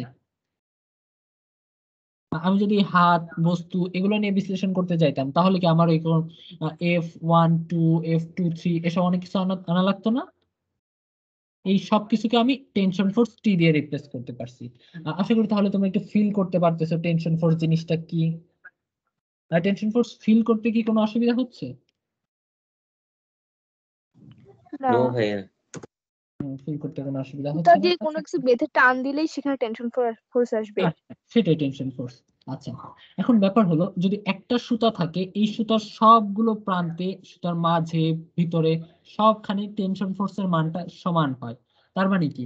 তার মানে এই যে এফ ওয়ান টু এটা আর এফ টু ওয়ান এটা কি সমান ছিল না? তার মানে কি? এই যে এই দুই নাম্বার বস্তুকে টানতেছিল এক নাম্বার বস্তু তাই না? তো এই প্রান্তের যে টেনশন ফোর্স আবার এই প্রান্তের যে tension force F one two দুইটাই কি পরস্পর সমান ছিল না মানের দিক থেকে? হ্যাঁ। এরা দুইটাই মানের দিক থেকে পরস্পর সমান ছিল। তো এই মানের দিক থেকে পরস্পর সমান কেন হয়? চলো একটু ভেতরে ডিপ ইনসাইড থেকে দেখে আসি। মনে করো এই যে ইয়ার পরমাণুগুলো আমি দেখাচ্ছি। একটা দড়ির ভিতরে কীরকম পরমাণু আছে সেগুলা দেখাচ্ছি। একটু পানি খেয়ে আসো তুমি।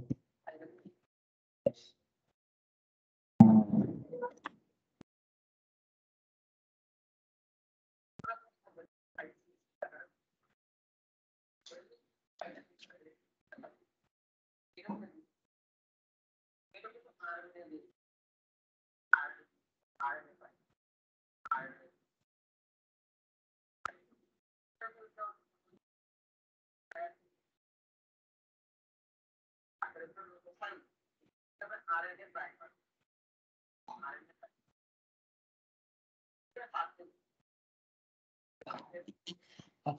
আমি আচ্ছা এবার দেখো তোমরা তেরো জন আসছো তেরো জনই চলবে আমার আচ্ছা তো জানো যে যে ইয়ারগুলা একটা পরমাণুর কেন্দ্রে বেশি বেশি করে প্রোটন থাকে, তাই না?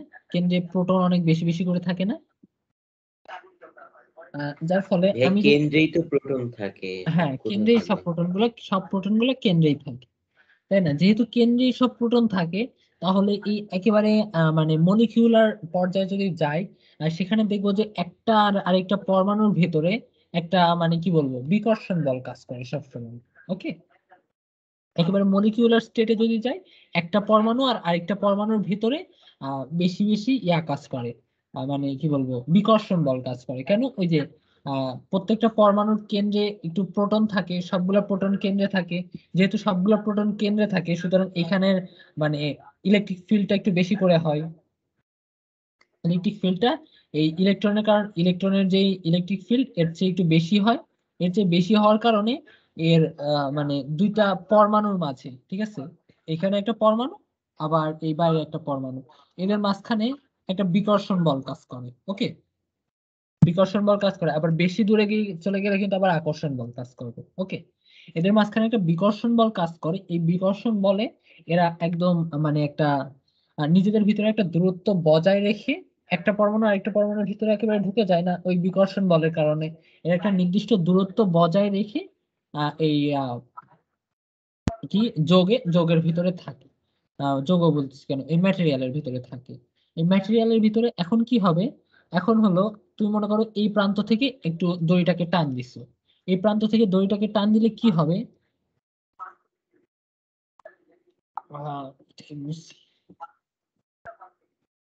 বড় করে ছিল। মনে করো এই যে আমাদের দড়িটা দড়ির মাত্র কয়েকটা পরমাণু আঁকাইলাম। মনে করো মাত্র কয়েকটা পরমাণু নিয়ে দড়িটা গঠিত।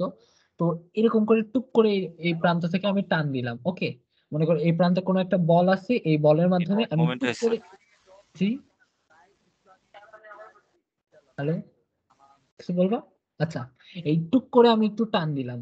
এই টুক করে টান দিলে আমাদের কি হবে? এই পরমাণুগুলোকে মুছে ফেলি।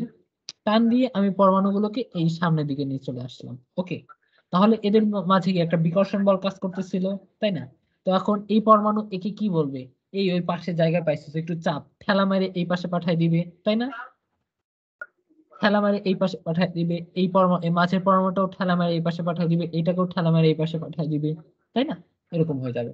তারপর এই পরমাণু একে কি বলবে? ওই তুইও তো পাশে জায়গা পাইছিস, একটু চাপ। তাহলে এই পরমাণুটা এখানে চলে আসবে, এটা এখানে চলে আসবে, এটা এখানে চলে আসবে। ওকে, এরপরে তারপরে কি হবে?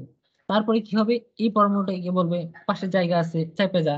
কারণ দেখো এর এর উপরে যতটুকু বিকর্ষণ বল, তার চেয়ে কি এর বিকর্ষণ বলটা বেশি, তাই না? কাছাকাছি আছে, যেহেতু কাছাকাছি আছে, ধাক্কা মেরে সরায় দিবে। ধাক্কা মেরে সরায় দিয়ে এই এখানে নিয়ে চলে আসবে। তার মানে দেখো, আমি জাস্ট একটা রশি জাস্ট এক মাথায় একটু টান দিছিলাম।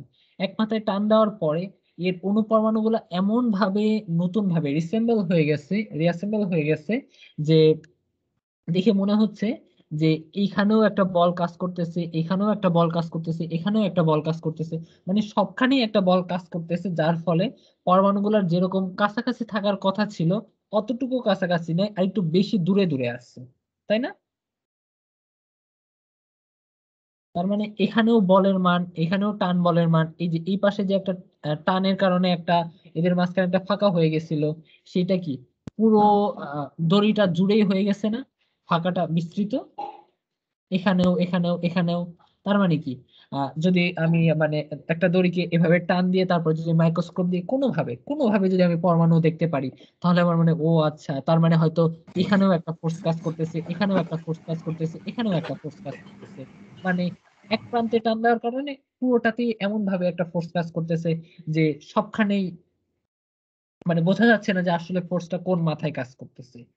সবখানেই মাঝখানে পরমাণুর ভিতর দিয়ে একটু ফাঁকা ফাঁকা হয়ে গেছে। এর জন্যই সবখানেই টেনশন ফোর্সের মানটা মানে একটা নির্দিষ্ট দড়ির জন্য সবখানেই টেনশন ফোর্সের মানটা সমান। ওকে আশা করি বুঝাইতে বুঝতে পারছ? জি ভাইয়া। ঠিক আছে? টেনশন ফোর্সটা পুরোপুরি ভালোভাবে বুঝতে পারবা না। Cause এই টেনশন ফোর্সটা ভালোভাবে বুঝতে হলে আমাদেরকে ওই যে ইয়াতে যাইতে হবে। আম, আমাদেরকে ওই যে ফ্লুইড ডাইনামিক্সে যাইতে হবে। ওইখানে যে তোমাদেরকে সারফেস টেনশন তারপরে আরও ব্যাপার স্যাপার আছে ওইগুলো বুঝাইতে হবে।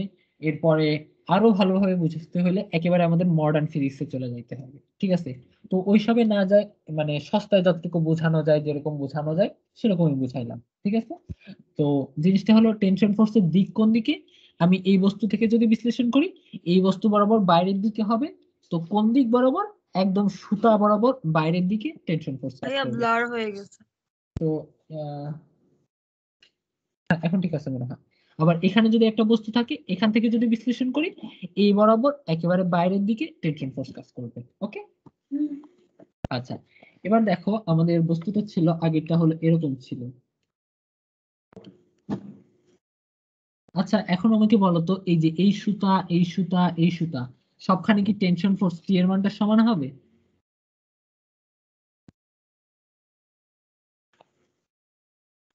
দৈর্ঘ্যের উপর নির্ভর করছে না। ভাইয়া ভরের উপর নির্ভর করছে। ভাইয়া সমান তো হবে না। যদি ভর ভিন্ন ভিন্ন হয় তাহলে তো সমান হওয়ার কথা না। হ্যাঁ ভর ভিন্ন ভিন্ন হলে এটা সমান হওয়ার একেবারেই কথা না। কারণ কি? কারণ এগুলো ভিন্ন ভিন্ন দড়ি। যদি এগুলো দড়িগুলো ভিন্ন ভিন্ন থাকে তাহলে এগুলো সমান হবে না। আর ব্যাপার হলো ভরের উপরেও নির্ভর করে না? ভরের উপরে কীভাবে নির্ভর করবে দেখি না ভরের উপরেও ওইভাবে নির্ভর করবে না। যেহেতু দড়ি ভিন্ন সুতরাং টেনশন ফোর্সের মান আলাদা। কীভাবে দুটা টেনশন ফোর্স এক করা যায় ওসব নিয়ে মাথা না ঘামাই। টেনশন ফোর্সের মান এক হবে যদি এটার ভর একেবারেই শূন্য হয়ে যায় এটার ভরও একেবারেই শূন্য। ব্লার হয়ে গেছে। তাহলে এখানকার টেনশন ফোর্স এখন দেখা যাচ্ছে। তাহলে এখানকার টেনশন ফোর্স এখানকার টেনশন ফোর্স এখানকার টেনশন ফোর্স সবগুলো সমান হবে। এমনিতে টেনশন ফোর্স সমান হওয়ার কোনো চান্সই নেই। যেহেতু এগুলো দড়ি আলাদা, সুতরাং এখানে tension force one two three এভাবে প্রকাশ করতে হবে। আশা করি বুঝতে পারছ আচ্ছা এবার আসি চলো নর্মাল ফোর্স নর্মাল ফোর্স জিনিসটা কীরকম? নর্মাল ফোর্স নর্মাল ফোর্স জিনিসটা হলো কোনো একটা বস্তু কোনো একটা সারফেসের উপর একটা বস্তু থাকলে এই বস্তুটা যতটুকু ফোর্স লম্বভাবে দেয় সারফেসটা ঠিক লম্বভাবে ততটুকু ফোর্স ফিরায় দেয়। ঠিক আছে? যেরকম এই যে একটা টেবিলের উপরে একটা বই বা এরকম একটা বড় বড়সড় বস্তু রাখা আছে, যেটা নিচের দিকে ডাব্লু পরিমাণ ফোর্স দিচ্ছে, সুতরাং এটা লম্বভাবে একটা ফোর্স ফিরায় দিবে, সেটাকে বলতেছে নর্মাল ফোর্স সুতরাং এখানে নর্মাল ফোর্সটা ডাব্লিউ এর সমান, তাই না? যে কোনো একটা বস্তু যদি একটা সারফেসের উপর রাখা হয় বস্তুটা সারফেসে সারফেসের উপর লম্বভাবে যে বলটা দিবে সারফেসটা ঠিক লম্বভাবে ঠিক লম্বভাবে ওই বস্তুকে সেই ফোর্সটা ফিরায় দিবে। ওকে এখন আরেকটা কেসে আসো। এটা তো একটা টেবিলের উপর রাখছিলাম। এখন এরকমও হইতে পারে যে, একটা দেওয়াল, ঠিক আছে? দেওয়ালের উপর এখানে একটা বস্তু রাখছি। এখন এই বল, বস্তুটাকে এফ বল দিয়ে এভাবে চেপে রাখছি। এখন কি এর ডাব্লিউ বল এভাবে কাজ করতেছে? তাহলে এই যে নর্মাল ফোর্সটা এই নর্মাল ফোর্সটা এখন কিসের সমান হবে বলো? এফ এর সমান। এই নর্মাল ফোর্সটা এখন এফ এর সমান হবে ওকে আচ্ছা এরপরে চলো একটা স্পেশাল কেস দেখি। তাহলে ভাইয়া ইটা তো নিচে পড়ে যাবে।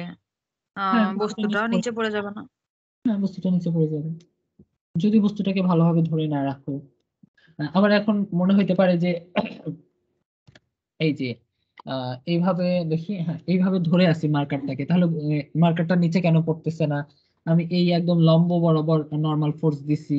এই নর্মাল ফোর্স তাহলে এই বস্তুটা নিচে কেন পড়তেছে না? এটা একটু পরে ব্যাখ্যায় আসব, যখন আমি একটু ফ্রিকশন শেখাবো, ঠিক আছে? এই ফ্রিকশনটা আমাদের এই নর্মাল ফোর্সের উপরে ডিপেন্ড করে কীভাবে কি হয়, একটু পরে আমি দেখাচ্ছি। আচ্ছা। তো নর্মাল ফোর্সের একটা ইয়া মানে স্পেশাল কেস সেটা হলো একটা ইনক্লাইন্ড প্লেন ইনক্লাইন্ড প্লেন মানে কি? এই যে মানে বুঝতেছে একটা ত্রিভুজ। ত্রিভুজ বলতে জিনিসটা কি? মনে করে এই যে এই এই যে ক্যালকুলেটর এটার উপরে এইভাবে একটা সমান্তরাল ভাবে একটা বস্তু রাখা ছিল। এটাকে যদি এভাবে একটু কাট করি, ঠিক আছে? এভাবে কাট করলে যেরকম একটা সারফেস তৈরি হবে এইটাকেই বলতেছি ইনক্লাইন প্লেন ওকে আশা করি বুঝতে পারতেছো, এই যে এরকম যেটা একটা ভূমির সাথে একটা কোণ করে থাকবে। তো কত কোণ করে থাকতে পারে? এটা থিটা কোণ করে আসছে ওকে এখন এই বস্তুর উপরে যদি, এখানে যদি একটা ইয়া থাকে, বস্তু থাকে, তাহলে এটা নর্মাল ফোর্সের মানটা কীরকম হবে সেটা নিয়ে আমরা একটু বিশ্লেষণ করার চেষ্টা করব। তো এই বস্তুটা একদম বরাবর, ব্যাসার্ধ বরাবর তার ওজন বলের সমান বল দিচ্ছে। তাই না? হ্যালো জি ভাইয়া। জি ভাইয়া। হ্যাঁ ভাইয়া। নিচের দিকে দিচ্ছে। এটা কি এই বরাবর দিচ্ছে? এই বরাবর তো দিবেন তাই না? না লম্ব বরাবর দিবে। একদম লম্ব বরাবর না। একদম আহ, পৃথিবীর আহ, ব্যাসার্ধ বরাবর ইয়াতে দিবে তাই না? আচ্ছা। আহ, তাহলে এই এই ফোর্সটা কি সারফেসের সাথে লম্ব হয়েছে এই ওজন বলটা কি সারফেসের সাথে লম্ব পরিমাণ হয়েছে? হয় নাই তো তাই না? না। লম্ব হয়নি একটা কোণ করে হয়েছে। এখন আমাদেরকে দরকার হলো আমরা যদি নর্মাল ফোর্স খুঁজে পাইতে হয় তাহলে আমাদের দরকার লম্ব ভাবে কতটুকু ফোর্স দিচ্ছে সেটা বের করা। তাহলে আমরা কাজটা কীভাবে করতে পারি? তাহলে কাজটা এভাবেই করতে পারি যে এই ডাব্লুটাকে আমরা দুই ভাগে ভাগ করি। কীভাবে ভাগ করব? এক ভাগ করব হলো হরিজন্টালি সারফেসের সাথে সমান্তরাল ভাবে আরেক ভাগ করব সারফেসের সাথে ভার্টিক্যালি বা সারফেসের সাথে লম্ব ভাবে ঠিক আছে? বুঝতে পারছ আশা করি? আমি কি করতে চাচ্ছি? তো দুই ভাগে যদি ভাগ করি দেখো এইখানে কোণের মানটা থিটা ওকে আচ্ছা এটা যে একটা সমকোণী ত্রিভুজ এটা তো বুঝতে পারতেছো তাই না? যে এই ছোটটা একটা সমকোণী ত্রিভুজ এটা তো বুঝতে পারতেছো। হ্যাঁ। কেন এটা সমকোণী ত্রিভুজ? কারণ এটা একদম বরাবর নিচের দিকে বা ব্যাসার্ধ বরাবর একটা পৃথিবীর ব্যাসার্ধ বরাবর কেন্দ্রের দিকে একটা ফোর্স দিচ্ছিল সেটা হলো ডাব্লিউ তাই না? তো এটা একদম এরকম। তো এটাকে কি বলব? এটা নিশ্চয়ই নাইনটি মাইনাস থিটা তাই না? হ্যাঁ। আচ্ছা, আবার দেখো এই যে আমাদের এই যে এইটা এই সারফেস আর এটা কি? সারফেসের সাথে লম্ব বরাবর ভার্টিক্যাল এক্সিস তাই না? আমাদের এইটা এই যে এটা এটা কি ভার্টিক্যাল এক্সিস না? তাহলে হরিজন্টাল আর ভার্টিক্যাল এক্সিস নিশ্চয়ই নিজেদের ভিতরে 90 ডিগ্রি কোণ করে আছে। জি ভাইয়া। তাহলে এটা যদি 90 মাইনাস থিটা হয় তাহলে নিশ্চয়ই এটা হলো থিটা হ্যালো? জি ভাইয়া। জি ভাইয়া। এটা হলো থিটা তাহলে এখন আমরা যদি ডাব্লিউ কে দুই ভাগে ভাগ করি তাহলে এই বরাবর কি আসবে? ডাব্লিউ কস থিটা তাই না? জি ভাইয়া। জি ভাইয়া। এই যে হরিজন্টাল বরাবর কি আসবে? W sine sine theta sine theta আশা করি বুঝতে পারছ যে তাহলে এখানে নর্মাল ফোর্সের মান কতটুকু হবে? যেটুকু আমি লম্ব ভাবে দিচ্ছি এই বস্তুটা লম্ব ভাবে যতটুকু দিচ্ছি ডাব্লিউ কস থিটা এর সমান তাই না? জি ভাইয়া। জি ভাইয়া। তার সমান। তো এটা যদি বুঝতে অসুবিধা থেকে থাকে চলো আমি আরেকটু আসছি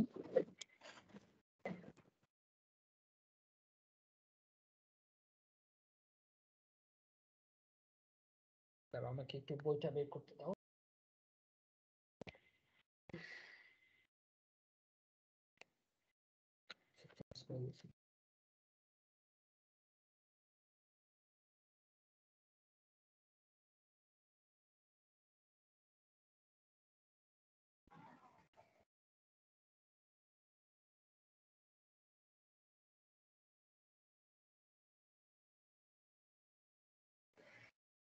ভাইয়া সাড়ে দশটা পার হয়ে গেছে কতক্ষণ ক্লাস করাবেন?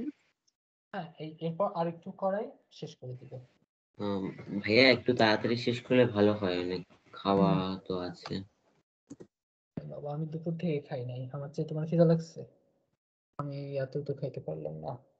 ভাত পুরোটাই এখনও পড়ে আছে।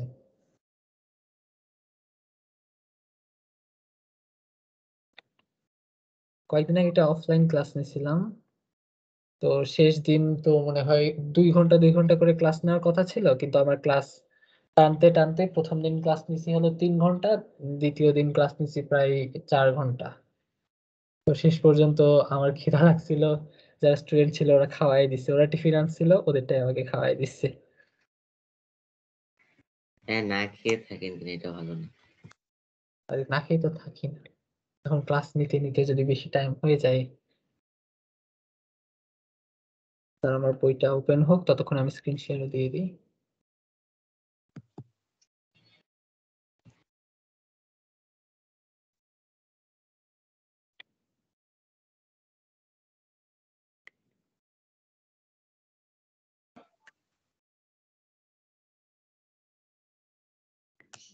স্ক্রিন শেয়ার হচ্ছে না কেন এখন? ডিস্টার্ব করে, দেখছ? একটা ভালো জিনিস দেখাবো ভাবলাম কিন্তু হয় না। আমার তো স্ক্রিন শেয়ারের পারমিশন আছে সম্ভবত কিন্তু চলে আসে না কেন? ভাইয়া আপনি তো হোস্ট প্রেজেন্ট না আমি হোস্ট না আমি অন্য আইডি থেকে ইয়া করে রাখছি। অন্য আইডি থেকে মিটিং স্টার্ট করছি এরপরে এই আইডি থেকে জয়েন করছি। এখানে আমি ভাইয়া হোস্ট না হয় মেসেঞ্জারে দেন আমরা মেসেঞ্জার থেকে নিয়ে অন করি। ওপেন করি।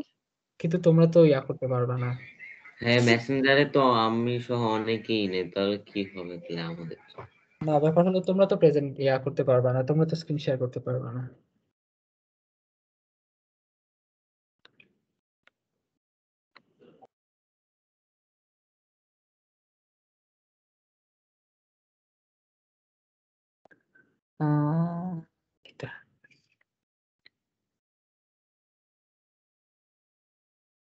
দিলে হয় না? হয়তো। দেখা যাচ্ছে না? আশা করি দেখা যাচ্ছে। দেখা যাওয়ার কথা। জি ভাইয়া দেখা যাচ্ছে। জি ভাইয়া। দেখা যাচ্ছে। না। দেখা যাবে একটু পরে দেখো। দেখা যাচ্ছে একটু ওয়েট করতে হবে।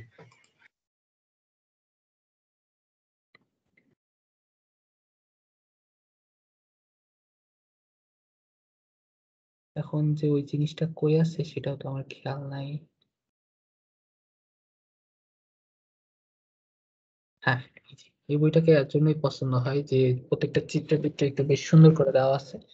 ওই যে যারা ফিজিক্স অলিম্পিয়াড অলিম্পিয়াড করে তারা অধিকাংশই এইচআর কে ফিজিক্স পড়ে। তো এইচআর কে ফিজিক্স এর এই তোমরা আসছো হ্যালো জি ভাইয়া। হ্যাঁ আচ্ছা।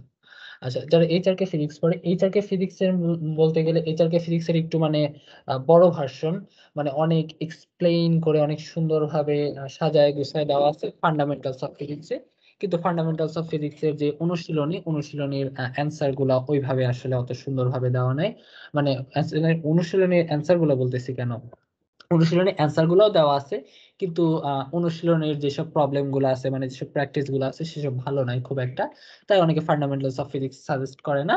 বাট যারা একটু কম কম বুঝো বা একটু মানে নিজে থেকে পড়তে হবে যাদেরকে মানে কারও সাহায্য করার মতো কেউ নেই, তারা এইচআর কে ফিজিক্স এর বদলে ফান্ডামেন্টালস অফ ফিজিক্স পড়তে পারো।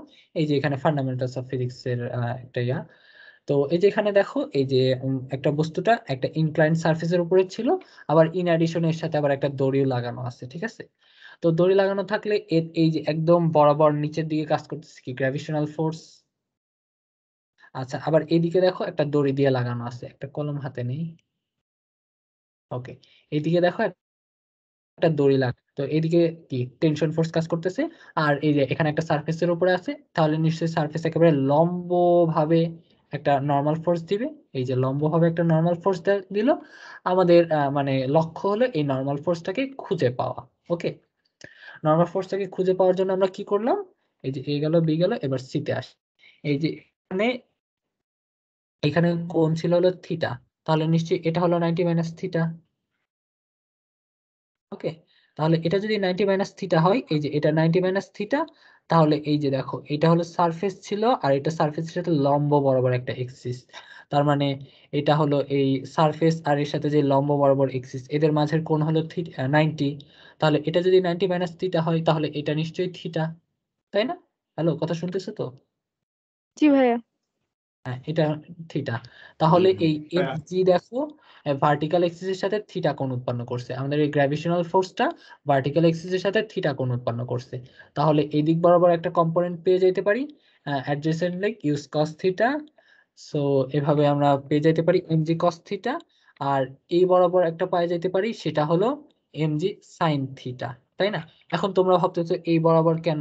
এই বরাবর এই ভেক্টরটাকে খুব সুন্দরভাবে ইয়া করে মানে কি বলব সমান্তরাল ভাবে এখানে নিয়ে এসে স্থাপন করতে পারি না। এখানে নিয়ে এসে স্থাপন জি করলে এটা কি হবে? এই যে এখানে নিয়ে এসে স্থাপন করে দিছে। এটা কি ভূমির একেবারে সমান্তরাল হয়ে যাবে? এটাও এদিক বরাবর এখানে কাজ করতেছে এটাও এদিক বরাবর এখানে কাজ করতেছে।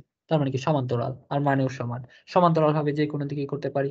তার মানে বুঝতেছো এই যে এমজি কস থিটার সমান হলো নর্মাল ফোর্স আর এই যে টেনশন ফোর্সটা মানে এই যে হরিজন্টাল বরাবর কাজ করতেছিল কি? এমজি সাইন থিটা বা সারফেস কাজ করতেছিল সাইন থিটা আশা করি বুঝতে পারছ। জি হ্যাঁ এখান থেকেও আশা করি কারোর বোঝার কোনো সমস্যা নাই কজ এই জিনিসটা আমার অনেক অনেক অনেক অনেক বেশি লাগবে ওকে? এই জন্যই দেখানো।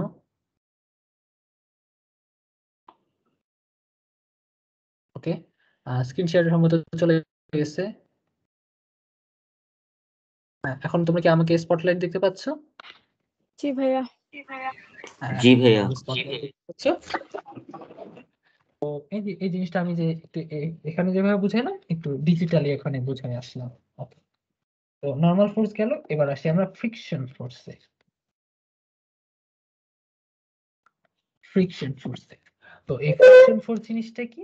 কোনো একটা বস্তু বা কোনো একটা সারফেসকে তুমি যদি একদম মাইক্রোস্কোপ দিয়ে দেখো, তোমার মানে এই এত সুন্দর মসৃণ সারফেস তুমি যদি এই বোর্ডের দিকে বোর্ডের উপর হাত বোর্ডে বোঝার চেষ্টা করো, তোমার আসলেই মসৃণ। বোর্ডের পৃষ্ঠটা আসলেই মসৃণ। কিন্তু এটাকে যদি মাইক্রোস্কোপ দিয়ে দেখো, এরকম অনেক খাঁজ খাঁজ খাঁজ এরকম দেখতে পাবা। একইভাবে এর উপর যে বস্তুটা রাখা হয়েছে, এই বস্তুর সারফেসটাও এরকম অনেক খাঁজ খাঁজ দিয়ে তৈরি, ঠিক আছে? অনেক প্রকার এরকম অনেক মানে অনেক অনেক খাঁজ আছে। একটু বেশি ওইদিকে চলে গেল। এরকম অনেক খাঁজ আছে। ওই একটা বস্তু যখন আরেকটা বস্তুর উপর দিয়ে চলতে চেষ্টা করে বা চলা শুরু করে তখন এই খাঁজগুলোকে যাইতে দেয় না।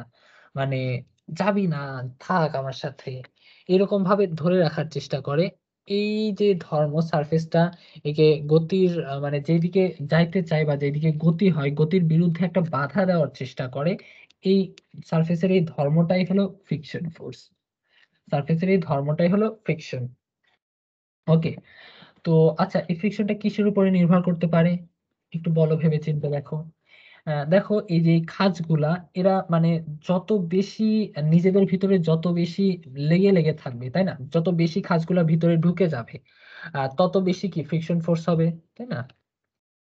জি ভাইয়া। আহ, তার মানে এদের ঘরের উপর। ভিতরে ফোর্সটা কাজ করতেছে এর এর উপরে নিশ্চয়ই নির্ভর করবে তাই না? তার মানে এর ভিতরে কি এই সারফেসটা একে কি একটা নর্মাল ফোর্স দিচ্ছে আবার এই বস্তুটা একদম লম্বভাবে একটা ফোর্স দিচ্ছে তাই না? তো এই নর্মাল ফোর্সের উপরে নিশ্চয়ই ফ্রিকশনটা ডিপেন্ড করবে। হ্যালো তোমরা কথা বলো তাড়াতাড়ি শেষ হয়ে যাবে। এই আর পাঁচ দশ মিনিটে পাঁচ মিনিটে ক্লাস আছে।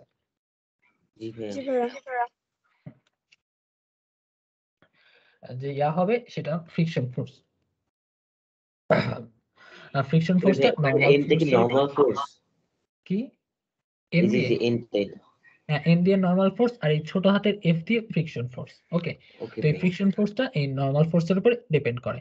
এরপরে আরেকটা জিনিসের উপর ডিপেন্ড করে সেটা হলো মিউ এই মিউ দিয়ে কি বোঝাচ্ছি? মিউ দিয়ে বোঝাচ্ছি একটা সারফেসে এক এক রকম ধর্ম থাকে ঠিক আছে? যেরকম কাঁচ অনেক বেশি মসৃণ এরকম হোয়াইট বোর্ডের এই পৃষ্ঠগুলা এগুলো অনেক বেশি মসৃণ হয়। তাই না? এই মসৃণ পৃষ্ঠ আর একেবারে যে রাফ কিছু পৃষ্ঠ থাকে যেরকম কাঠ বা কাগজ ইত্যাদি ইত্যাদি বলতে পারো যেগুলো খুবই রাফ এরকম রাফ এইসব রাফ পৃষ্ঠে নিশ্চয়ই ফ্রেমের মানটা অনেক বেশি হবে তাই না? হ্যাঁ। এরকম ফ্রিকশনের মানটা অনেক বেশি হবে। আর তো এরকম আহ, মানে এরকম সারফেসের কিছু নির্দিষ্ট ভ্যালু আছে হ্যাঁ হ্যাঁ। সারফেসের কিছু নির্দিষ্ট ভ্যালু আছে, যেগুলোর উপরে ফ্রিকশনটা অনেক বেশি নির্ভর করে। সেই সব ভ্যালুগুলো হলো সেই সব ভ্যালুকে বলা হয় মিউ এই মিউটা কিন্তু জাস্ট যে যে সারফেসের উপরে চলাচল করবে, যেরকম এই যে বোর্ডের উপর যদি মার্কার চলাচল করে, শুধু যেই বোর্ডের মিউ মানে বোর্ডের একটা ধর্ম, সেটা কিন্তু না। এই বোর্ড মার্কার দুইজনের মিলিত একটা ফলাফল হলো এই মিউ ঠিক আছে? এই মিউ বিভিন্ন ক্ষেত্রে বিভিন্ন রকম হতে পারে। যেরকম কাঠ, কাঠের উপর দিয়ে যদি কাঠ চলাচল করে, সেক্ষেত্রে মিউ এর মান একরকম হইতে পারে। আহ মিউ এর মান একরকম হইতে পারে। আবার কাচের উপর দিয়ে যদি কাঠ চলাচল করে, সেখানে মিউ মান হইতে পারে একরকম। মানে এটা হলো সারফেস টু সারফেস ভ্যারি করে। এটা একটা মানে কনস্ট্যান্ট মান, এটা প্রশ্নে দেওয়া থাকে। ওকে আচ্ছা। ভাই এটা কি সারফেসটা কতটুকু স্মুথ সেটার উপর নির্ভর করে। হ্যাঁ হ্যাঁ হ্যাঁ সারফেসটা কতটুকু স্মুথ মানে একটা সারফেস না দুইটা সারফেসের উপরই। যেটা চলতেছে আর যেটার উপর দিয়ে চলতেছে দুইটা। দুইটাই কতটুকু স্মুথ তার উপরে মিউর মানটা নির্ভর করে। আর যে সারফেস যত রাফ সেই সারফেসের মিউর মান তত বেশি। আর যে সারফেস যত স্মুথ তার মিউ তত কম। ওকে আচ্ছা জি ভাইয়া। এবার আমাদের ফ্রিকশন আছে হলো দুই প্রকারের। ফ্রিকশন দুই প্রকারের কীরকম? ফ্রিকশন তোমরা নাইন টেনের বইয়ে পড়ে থাকবে চার ধরনের ফ্রিকশন আছে। একটা হলো স্থিতি ঘর্ষণ, গতি ঘর্ষণ গতি ঘর্ষণ, একটা হলো প্রবাহী ঘর্ষণ আর একটা হলো আবর্ত ঘর্ষণ। এই আবর্ত ঘর্ষণ আর স্থিতি ঘর্ষণ, এই দুইটা একই জিনিস। এই দুটোকে কেন আলাদা দিছে? আল্লাহ ভালো জানে। আর প্রবাহী ঘর্ষণ, এই জিনিসটা নিয়ে তোমরা পড়বা হলো যখন ওই যে ফ্লুইড ডাইনামিক্স পড়বা, তখন তবু প্রবাহী ঘর্ষণকে এরকম ঘর্ষণের ভিতরে রাখাটা আসলে এরকম উচিত হয় নাই। প্রবাহী ঘর্ষণ নিয়ে অন্য অন্য ইয়াতে পড়বা। যাই হোক ফ্রিকশন মেইনলি হলো দুই প্রকার। একটা হলো স্থিতি ঘর্ষণ বা স্ট্যাটিক ফ্রিকশন আর একটা হলো গতি ঘর্ষণ বা কাইনেটিক ফ্রিকশন ওকে এখন স্ট্যাটিক ফ্রিকশন থেকে তোমরা বুঝতেই পারতেছো কোন একটা সারফেসের উপর কোন একটা বস্তু যত যখন যদি থাকে তাহলে নিশ্চয়ই অনেকক্ষণ ধরে আছে এরা একেবারে ভিতরে ভিতরে লেগে লেগে যাবে তাই না? ভিতরে লেগে লেগে যাবে। তার মানে প্রথমে যখন একে গতিশীল করতে হয় তখন নিশ্চয়ই এর বাধার পরিমাণটা একটু বেশি থাকবে। জি ভাইয়া। প্রথমে এর বাধার পরিমাণটা একটু বেশি থাকবে। আচ্ছা এখন একটা জিনিস বোঝানো জরুরি।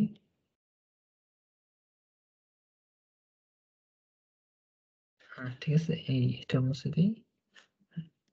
এটা হলো আমার সারফেসটা আর এটা হলো আমার বস্তুটা। যে যার উপর দিয়ে এটা চলাচল করবে এটা দরকার নেই, ওকে? আচ্ছা মনে করো এর উপর তুমি দশ নিউটন বল প্রয়োগ করলা, কিন্তু দেখো বস্তুটা সামনের দিকে আগাচ্ছে না। তাহলে এটা স্থির অবস্থায় ছিল, এখন স্থির অবস্থায় আছে। তাহলে স্ট্যাটিক ফ্রিকশনের মান কত? স্ট্যাটিক ফ্রিকশনকে আমি ছোট হাতের ছোট হাতের এফ এস দিয়ে প্রকাশ করতেছি স্ট্যাটিক ফ্রিকশনের মান তখন দশ নিউটন। ওকে এরপর তুমি পনেরো নিউটন বল প্রয়োগ করলা। তখনও দেখো আহ, বস্তুটা সামনের দিকে আগাচ্ছে না। তখন স্ট্যাটিক ফ্রিকশনের মান কত? পনেরো নিউটন। পনেরো। হ্যাঁ তখন পনেরো স্ট্যাটিক ফ্রিকশন পনেরো নিউটন। আহ, আচ্ছা এখন কি বলবা? যে আহ, তাহলে এই দশ নিউটন যখন ছিল তখনও স্ট্যাটিক ফ্রিকশনের মান ছিল হলো পনেরো নিউটন তখন কি ফ্রিকশনের কারণে পিছনের দিকে যাবে এমন কিছু? জি না ভাইয়া। এমন কিছু না। না। আচ্ছা এরপর যদি বিশ নিউটন বলে ধাক্কা দেওয়া হয় তারপরেও দেখো আগাচ্ছে না। তাহলে তখন স্ট্যাটিক ফ্রিকশনের মান কত? বিশ নিউটন। হ্যাঁ বিশ তখন ফ্রিকশনের মান বিশ নিউটন ঠিক আছে? ওই যে ক্লাসের শুরুতেই একজন বলছিলা যে ফ্রিকশন ফোর্স কখনো ইয়া তৈরি করে না। ফ্রিকশন ফোর্স কখনো ত্বরণ তৈরি করে না। কারণ কীভাবে তৈরি করবে? কারণ দেখো যখন আমি এর উপরে দশ নিউটন বল প্রয়োগ করতেছি কিন্তু বস্তুটা সামনের দিকে আগাচ্ছে না। তার মানে আমি ধরে নিচ্ছি কি? পিছনের দিকে একটা বল কাজ করতেছে পিছনের দিকে একটা রিয়াকশন ফোর্স কাজ করতেছে। সেটা কি? সেটা হলো ফ্রিকশন ফোর্স সেটা হলো স্ট্যাটিক ফ্রিকশন সেটা হলো দশ নিউটন। তো যখন আমি পনেরো নিউটন বল প্রয়োগ করতেছি তাও সামনের দিকে কাজ করতেছে না। তখন ফ্রিকশন ফোর্স কত কাজ করতেছে? তখন হলো পনেরো নিউটন। যখন বিশ নিউটন বলে ধাক্কা দিচ্ছি তবুও সামনে যাচ্ছে না তখন স্ট্যাটিক ফ্রিকশনের মানটা বিশ নিউটন। আচ্ছা এবার ধরো আমি তিরিশ নিউটন বলে ধাক্কা দিলাম এবং কোনোভাবে টের পাইলাম যে লব্ধি বলের মানটা দশ নিউটন। ঠিক আছে? কোনো বলে ভাবে টের পাইলাম লব্ধি বলের মানটা দশ নিউটন।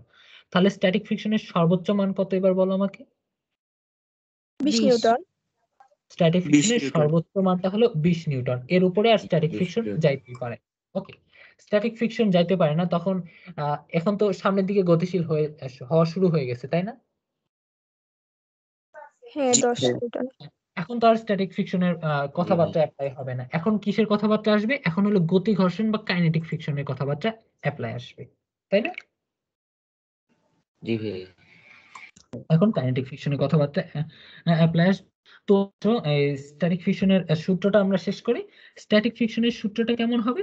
স্ট্যাটিক ফিকশনের সূত্রটা নিশ্চয়ই তাহলে এমন হবে দেখো মিউ, এই জিনিসটা হলো একটা কনস্ট্যান্ট নর্মাল ফোর্স একটা সারফেসে নর্মাল ফোর্স তো সাধারণত কনস্ট্যান্ট কনস্ট্যান্টই থাকবে, তাই না?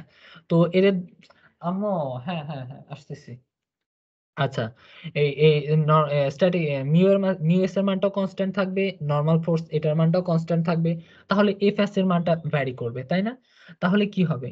এই যে মিউ এস মিউ এস দিয়ে কি বুঝাচ্ছি? Static friction coefficient static friction coefficient দিয়ে কি বুঝাচ্ছি? স্ট্যাটিক ফ্রিকশন কোএফিসিয়েন্ট দিয়ে বুঝাচ্ছি এই যে বস্তুটা সারফেসের উপর অনেকক্ষণ ধরে আছে যার কারণে এদের ভিতরে একটু বেশি লেগে গেছে যার কারণে এদের যে স্মুথনেস এটা একটু কমে গেছে তাই না? মানে একটু বেশি রাফ হয়ে গেছে যার কারণে মিউ এস এর মানটা একটু বেড়ে যাবে তাই না? জি ভাইয়া। ভাইয়া। মিউ এস এর মানটা বেড়ে যাবে। এতক্ষণ আমি জাস্ট মিউ নিয়ে কথা বলতেছিলাম যখন আমি ফ্রিকশন নিয়ে কথা বলতেছিলাম এখন আমি স্ট্যাটিক ফ্রিকশন কাইনেটিক ফ্রিকশন দুইভাবে আলাদা করে দিছি।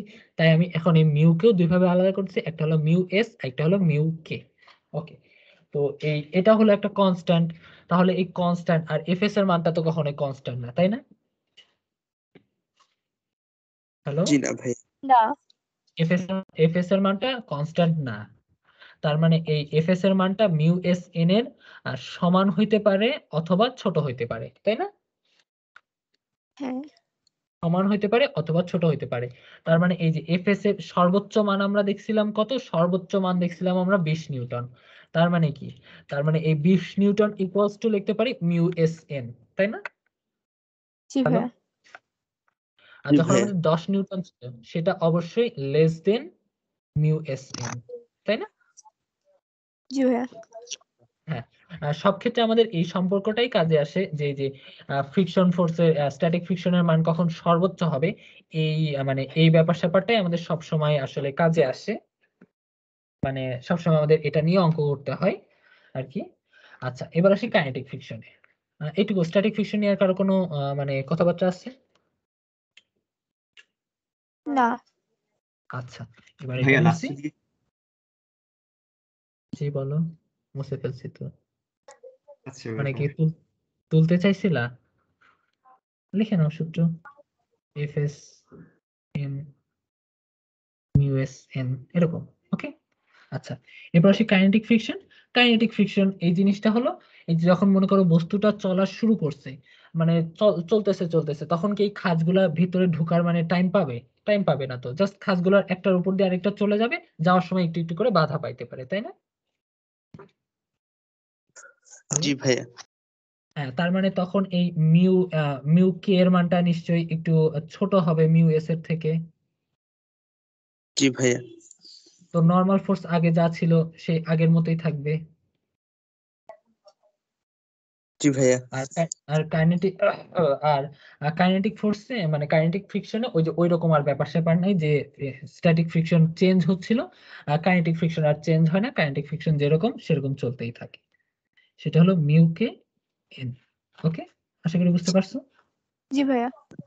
আচ্ছা এখন সবার একটা প্রশ্ন হওয়া উচিত যে এই মিউ কে এই জিনিসটাকে আমরা কীভাবে বের করতে পারি? বা বিজ্ঞানীরা এই মিউ এই জিনিসটা কীভাবে বের করছে? ওকে? এটা নিয়ে আসে একটু কথা বলি। ও আচ্ছা মনে করো এই যে একটা বস্তু আহ, একটা সারফেসের উপরে কিছু একটা বস্তু রেখে দিছো। বস্তু রেখে ধীরে ধীরে ধীরে ধীরে এটাকে কাট করার চেষ্টা করতেছো। ধীরে ধীরে কাট করতেছো ওকে মানে এই যে এই মার্ক ক্যালকুলেটরের উপরে মার্কারটা রাখা আছে। মার্কারটা রেখে এটাকে এভাবে ধীরে ধীরে ধীরে ধীরে কাট করতেছে ওকে কাট করলে এক সময় এটা কি হবে? প্রথমে ছিল কি? স্থির ছিল এরপর ধীরে ধীরে চলা শুরু করছে তাই না? জি ভাইয়া। ধীরে ধীরে চলা শুরু করছে। আচ্ছা এই বরাবর কি কাজ করতেছে? এমজি সাইন থিটা জি ভাইয়া। জি ভাইয়া। আচ্ছা এখানে নর্মাল ফোর্সের মান কত? এমজি কস থিটা জি ভাইয়া। জি।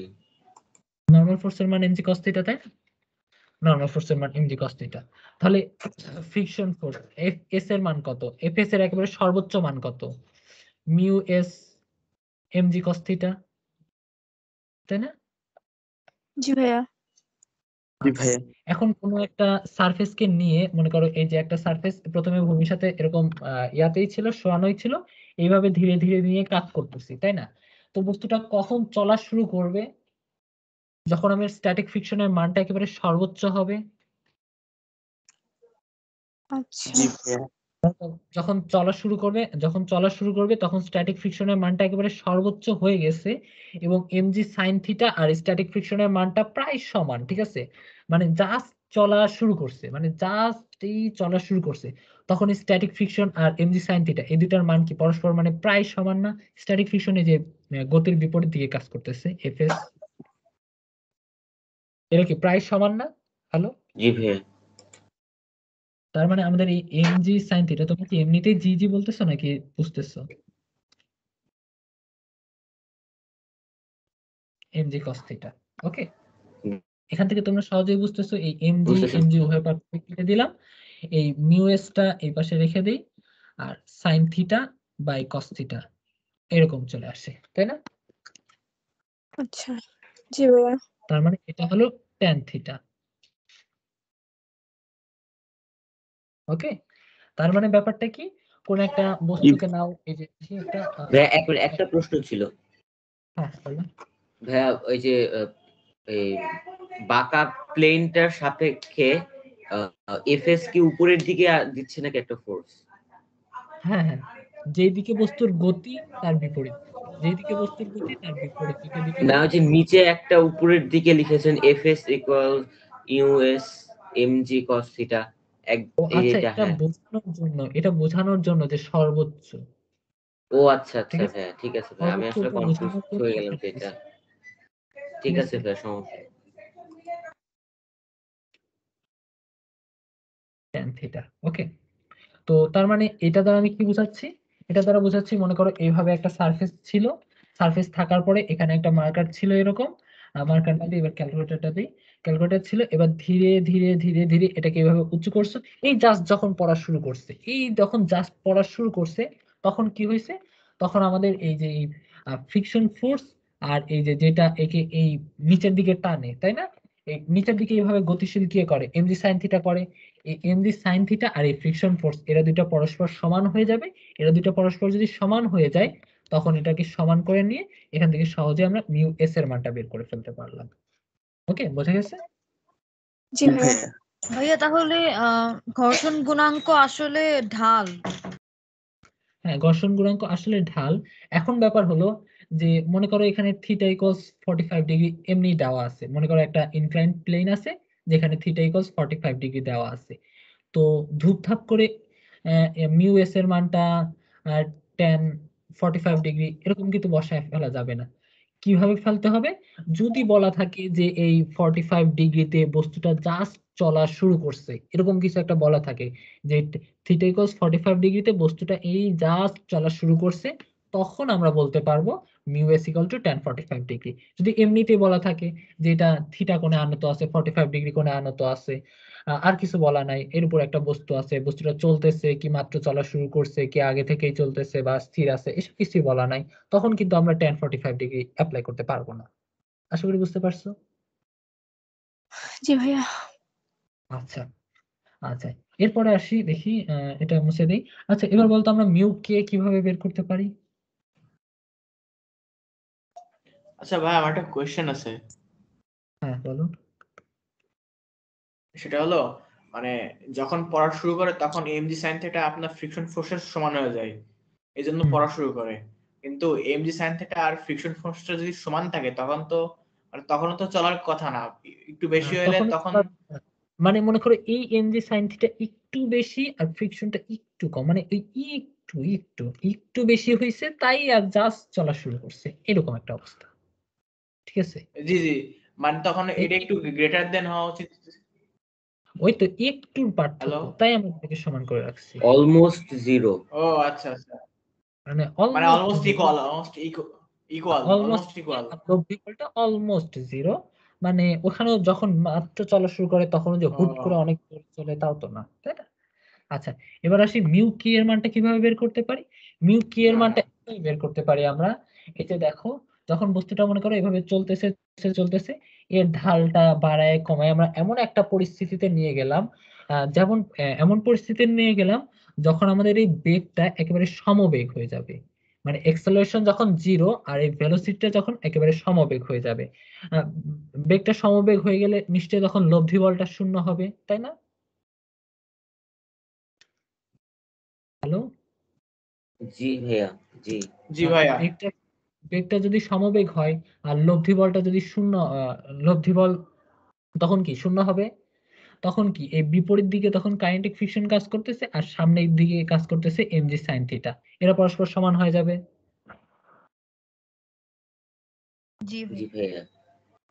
তখনকার থিটার মানটা নিয়ে ট্যান থিটা বসায় দিলে আমরা খুব সহজেই মিউ কে এর মানটা পেয়ে যাব। মিউ এস এর মানটা কখন পাবো? সূত্র তো সেমই হ্যাঁ সূত্র সেম কিন্তু এর থিটার মানটা কি আলাদা হবে না?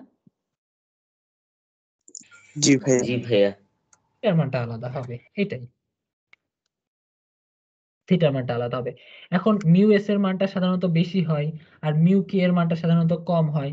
তার মানে কি? মিউ এস এর থিটাটা বড় হবে আর মিউ কে এর থিটাটা একটু কম হবে তাই না?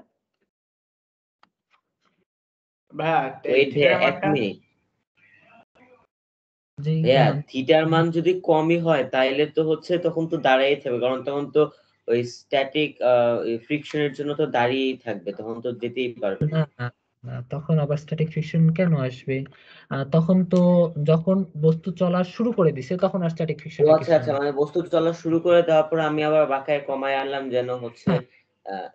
ওকে ভাই বুঝছি। এটাই। তো যদি এক ঢিলে দুই পাখি মারতে চাও প্রথমে কি হবে? একটু যখন চলা শুরু করবে, মনে করো একটু বড় বইটই নিবা।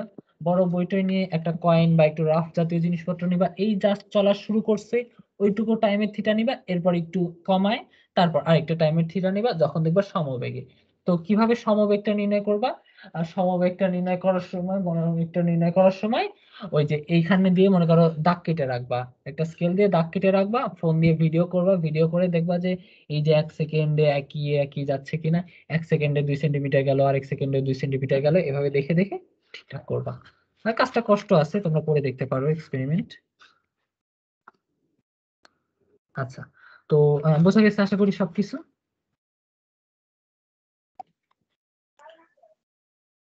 আচ্ছা। মোটামুটি আজকের ক্লাসে যতটুকু বেসিক দরকার ছিল মোটামুটি প্রায় পুরোটুকুই বুঝাই দিচ্ছি। এখন জাস্ট তোমাদের প্র্যাকটিসের ব্যাপার এই প্র্যাকটিসের কাজটা তোমরা যেটা করতে পারো, সেটা হলো ওই যে আমি ইউটিউব থেকে রেকর্ডিং দিয়ে দিব না ওই রেকর্ডিংগুলো একটু দেখে নিও। আর তোমরা যত বেশি দেখবা, তত বেশি ভালো হবে। বিশেষত এই আমাদের ডাইনামিক্স এর প্রবলেমে মানে আসল মজা মানে ফিজিক্স মানে সবাই যেখান থেকে পড়া শুরু করে মানে যেখান থেকে ফিজিক্স ভালো লাগা শুরু হয়, বা আমার যেখান থেকে ফিজিক্স ভালো লাগা শুরু, বা আমার যেসব স্টুডেন্ট টুডেন্ট আছে, যারা নিয়মিত ক্লাস ক্লাস করে তাদের তো এইসব ক্লাসগুলো আগেই করাইছি আগেই পড়াইছি। তাদেরও যেখান থেকে ফিজিক্স ভালো লাগা শুরু হয় সেটা হলো পুলির অঙ্ক থেকে। তো এই পুলির অঙ্ক থেকে আজকে তো পুলির অঙ্ক করানো সম্ভব হলো না অলরেডি এগারোটা এক বাজে। তো ওই পুলির অঙ্ক থেকে ওইখান থেকে আমি ভিডিও দিয়ে দিব না ওই তিনটা ভিডিও প্রথমে যারা প্রথম দিকের ক্লাস মিস করছ প্রথম দিকে দেখে নিয়ে আজকে রেকর্ডিং ফেসবুক গ্রুপে দিয়ে দেন কারণ আমি তো মেসেঞ্জার গ্রুপে এখনও জয়েন হতে পারি নাই আচ্ছা আচ্ছা মেসেঞ্জার গ্রুপে ফেসবুক গ্রুপে দিয়ে দিব ওকে আচ্ছা সবাই দেখে নিও সবাই ভালো থেকো ওকে আসসালামু আলাইকুম। জি ভাই আসসালামু আলাইকুম। হ্যাঁ আসসালামু আলাইকুম। আল্লাহ হাফেজ ভাইয়া।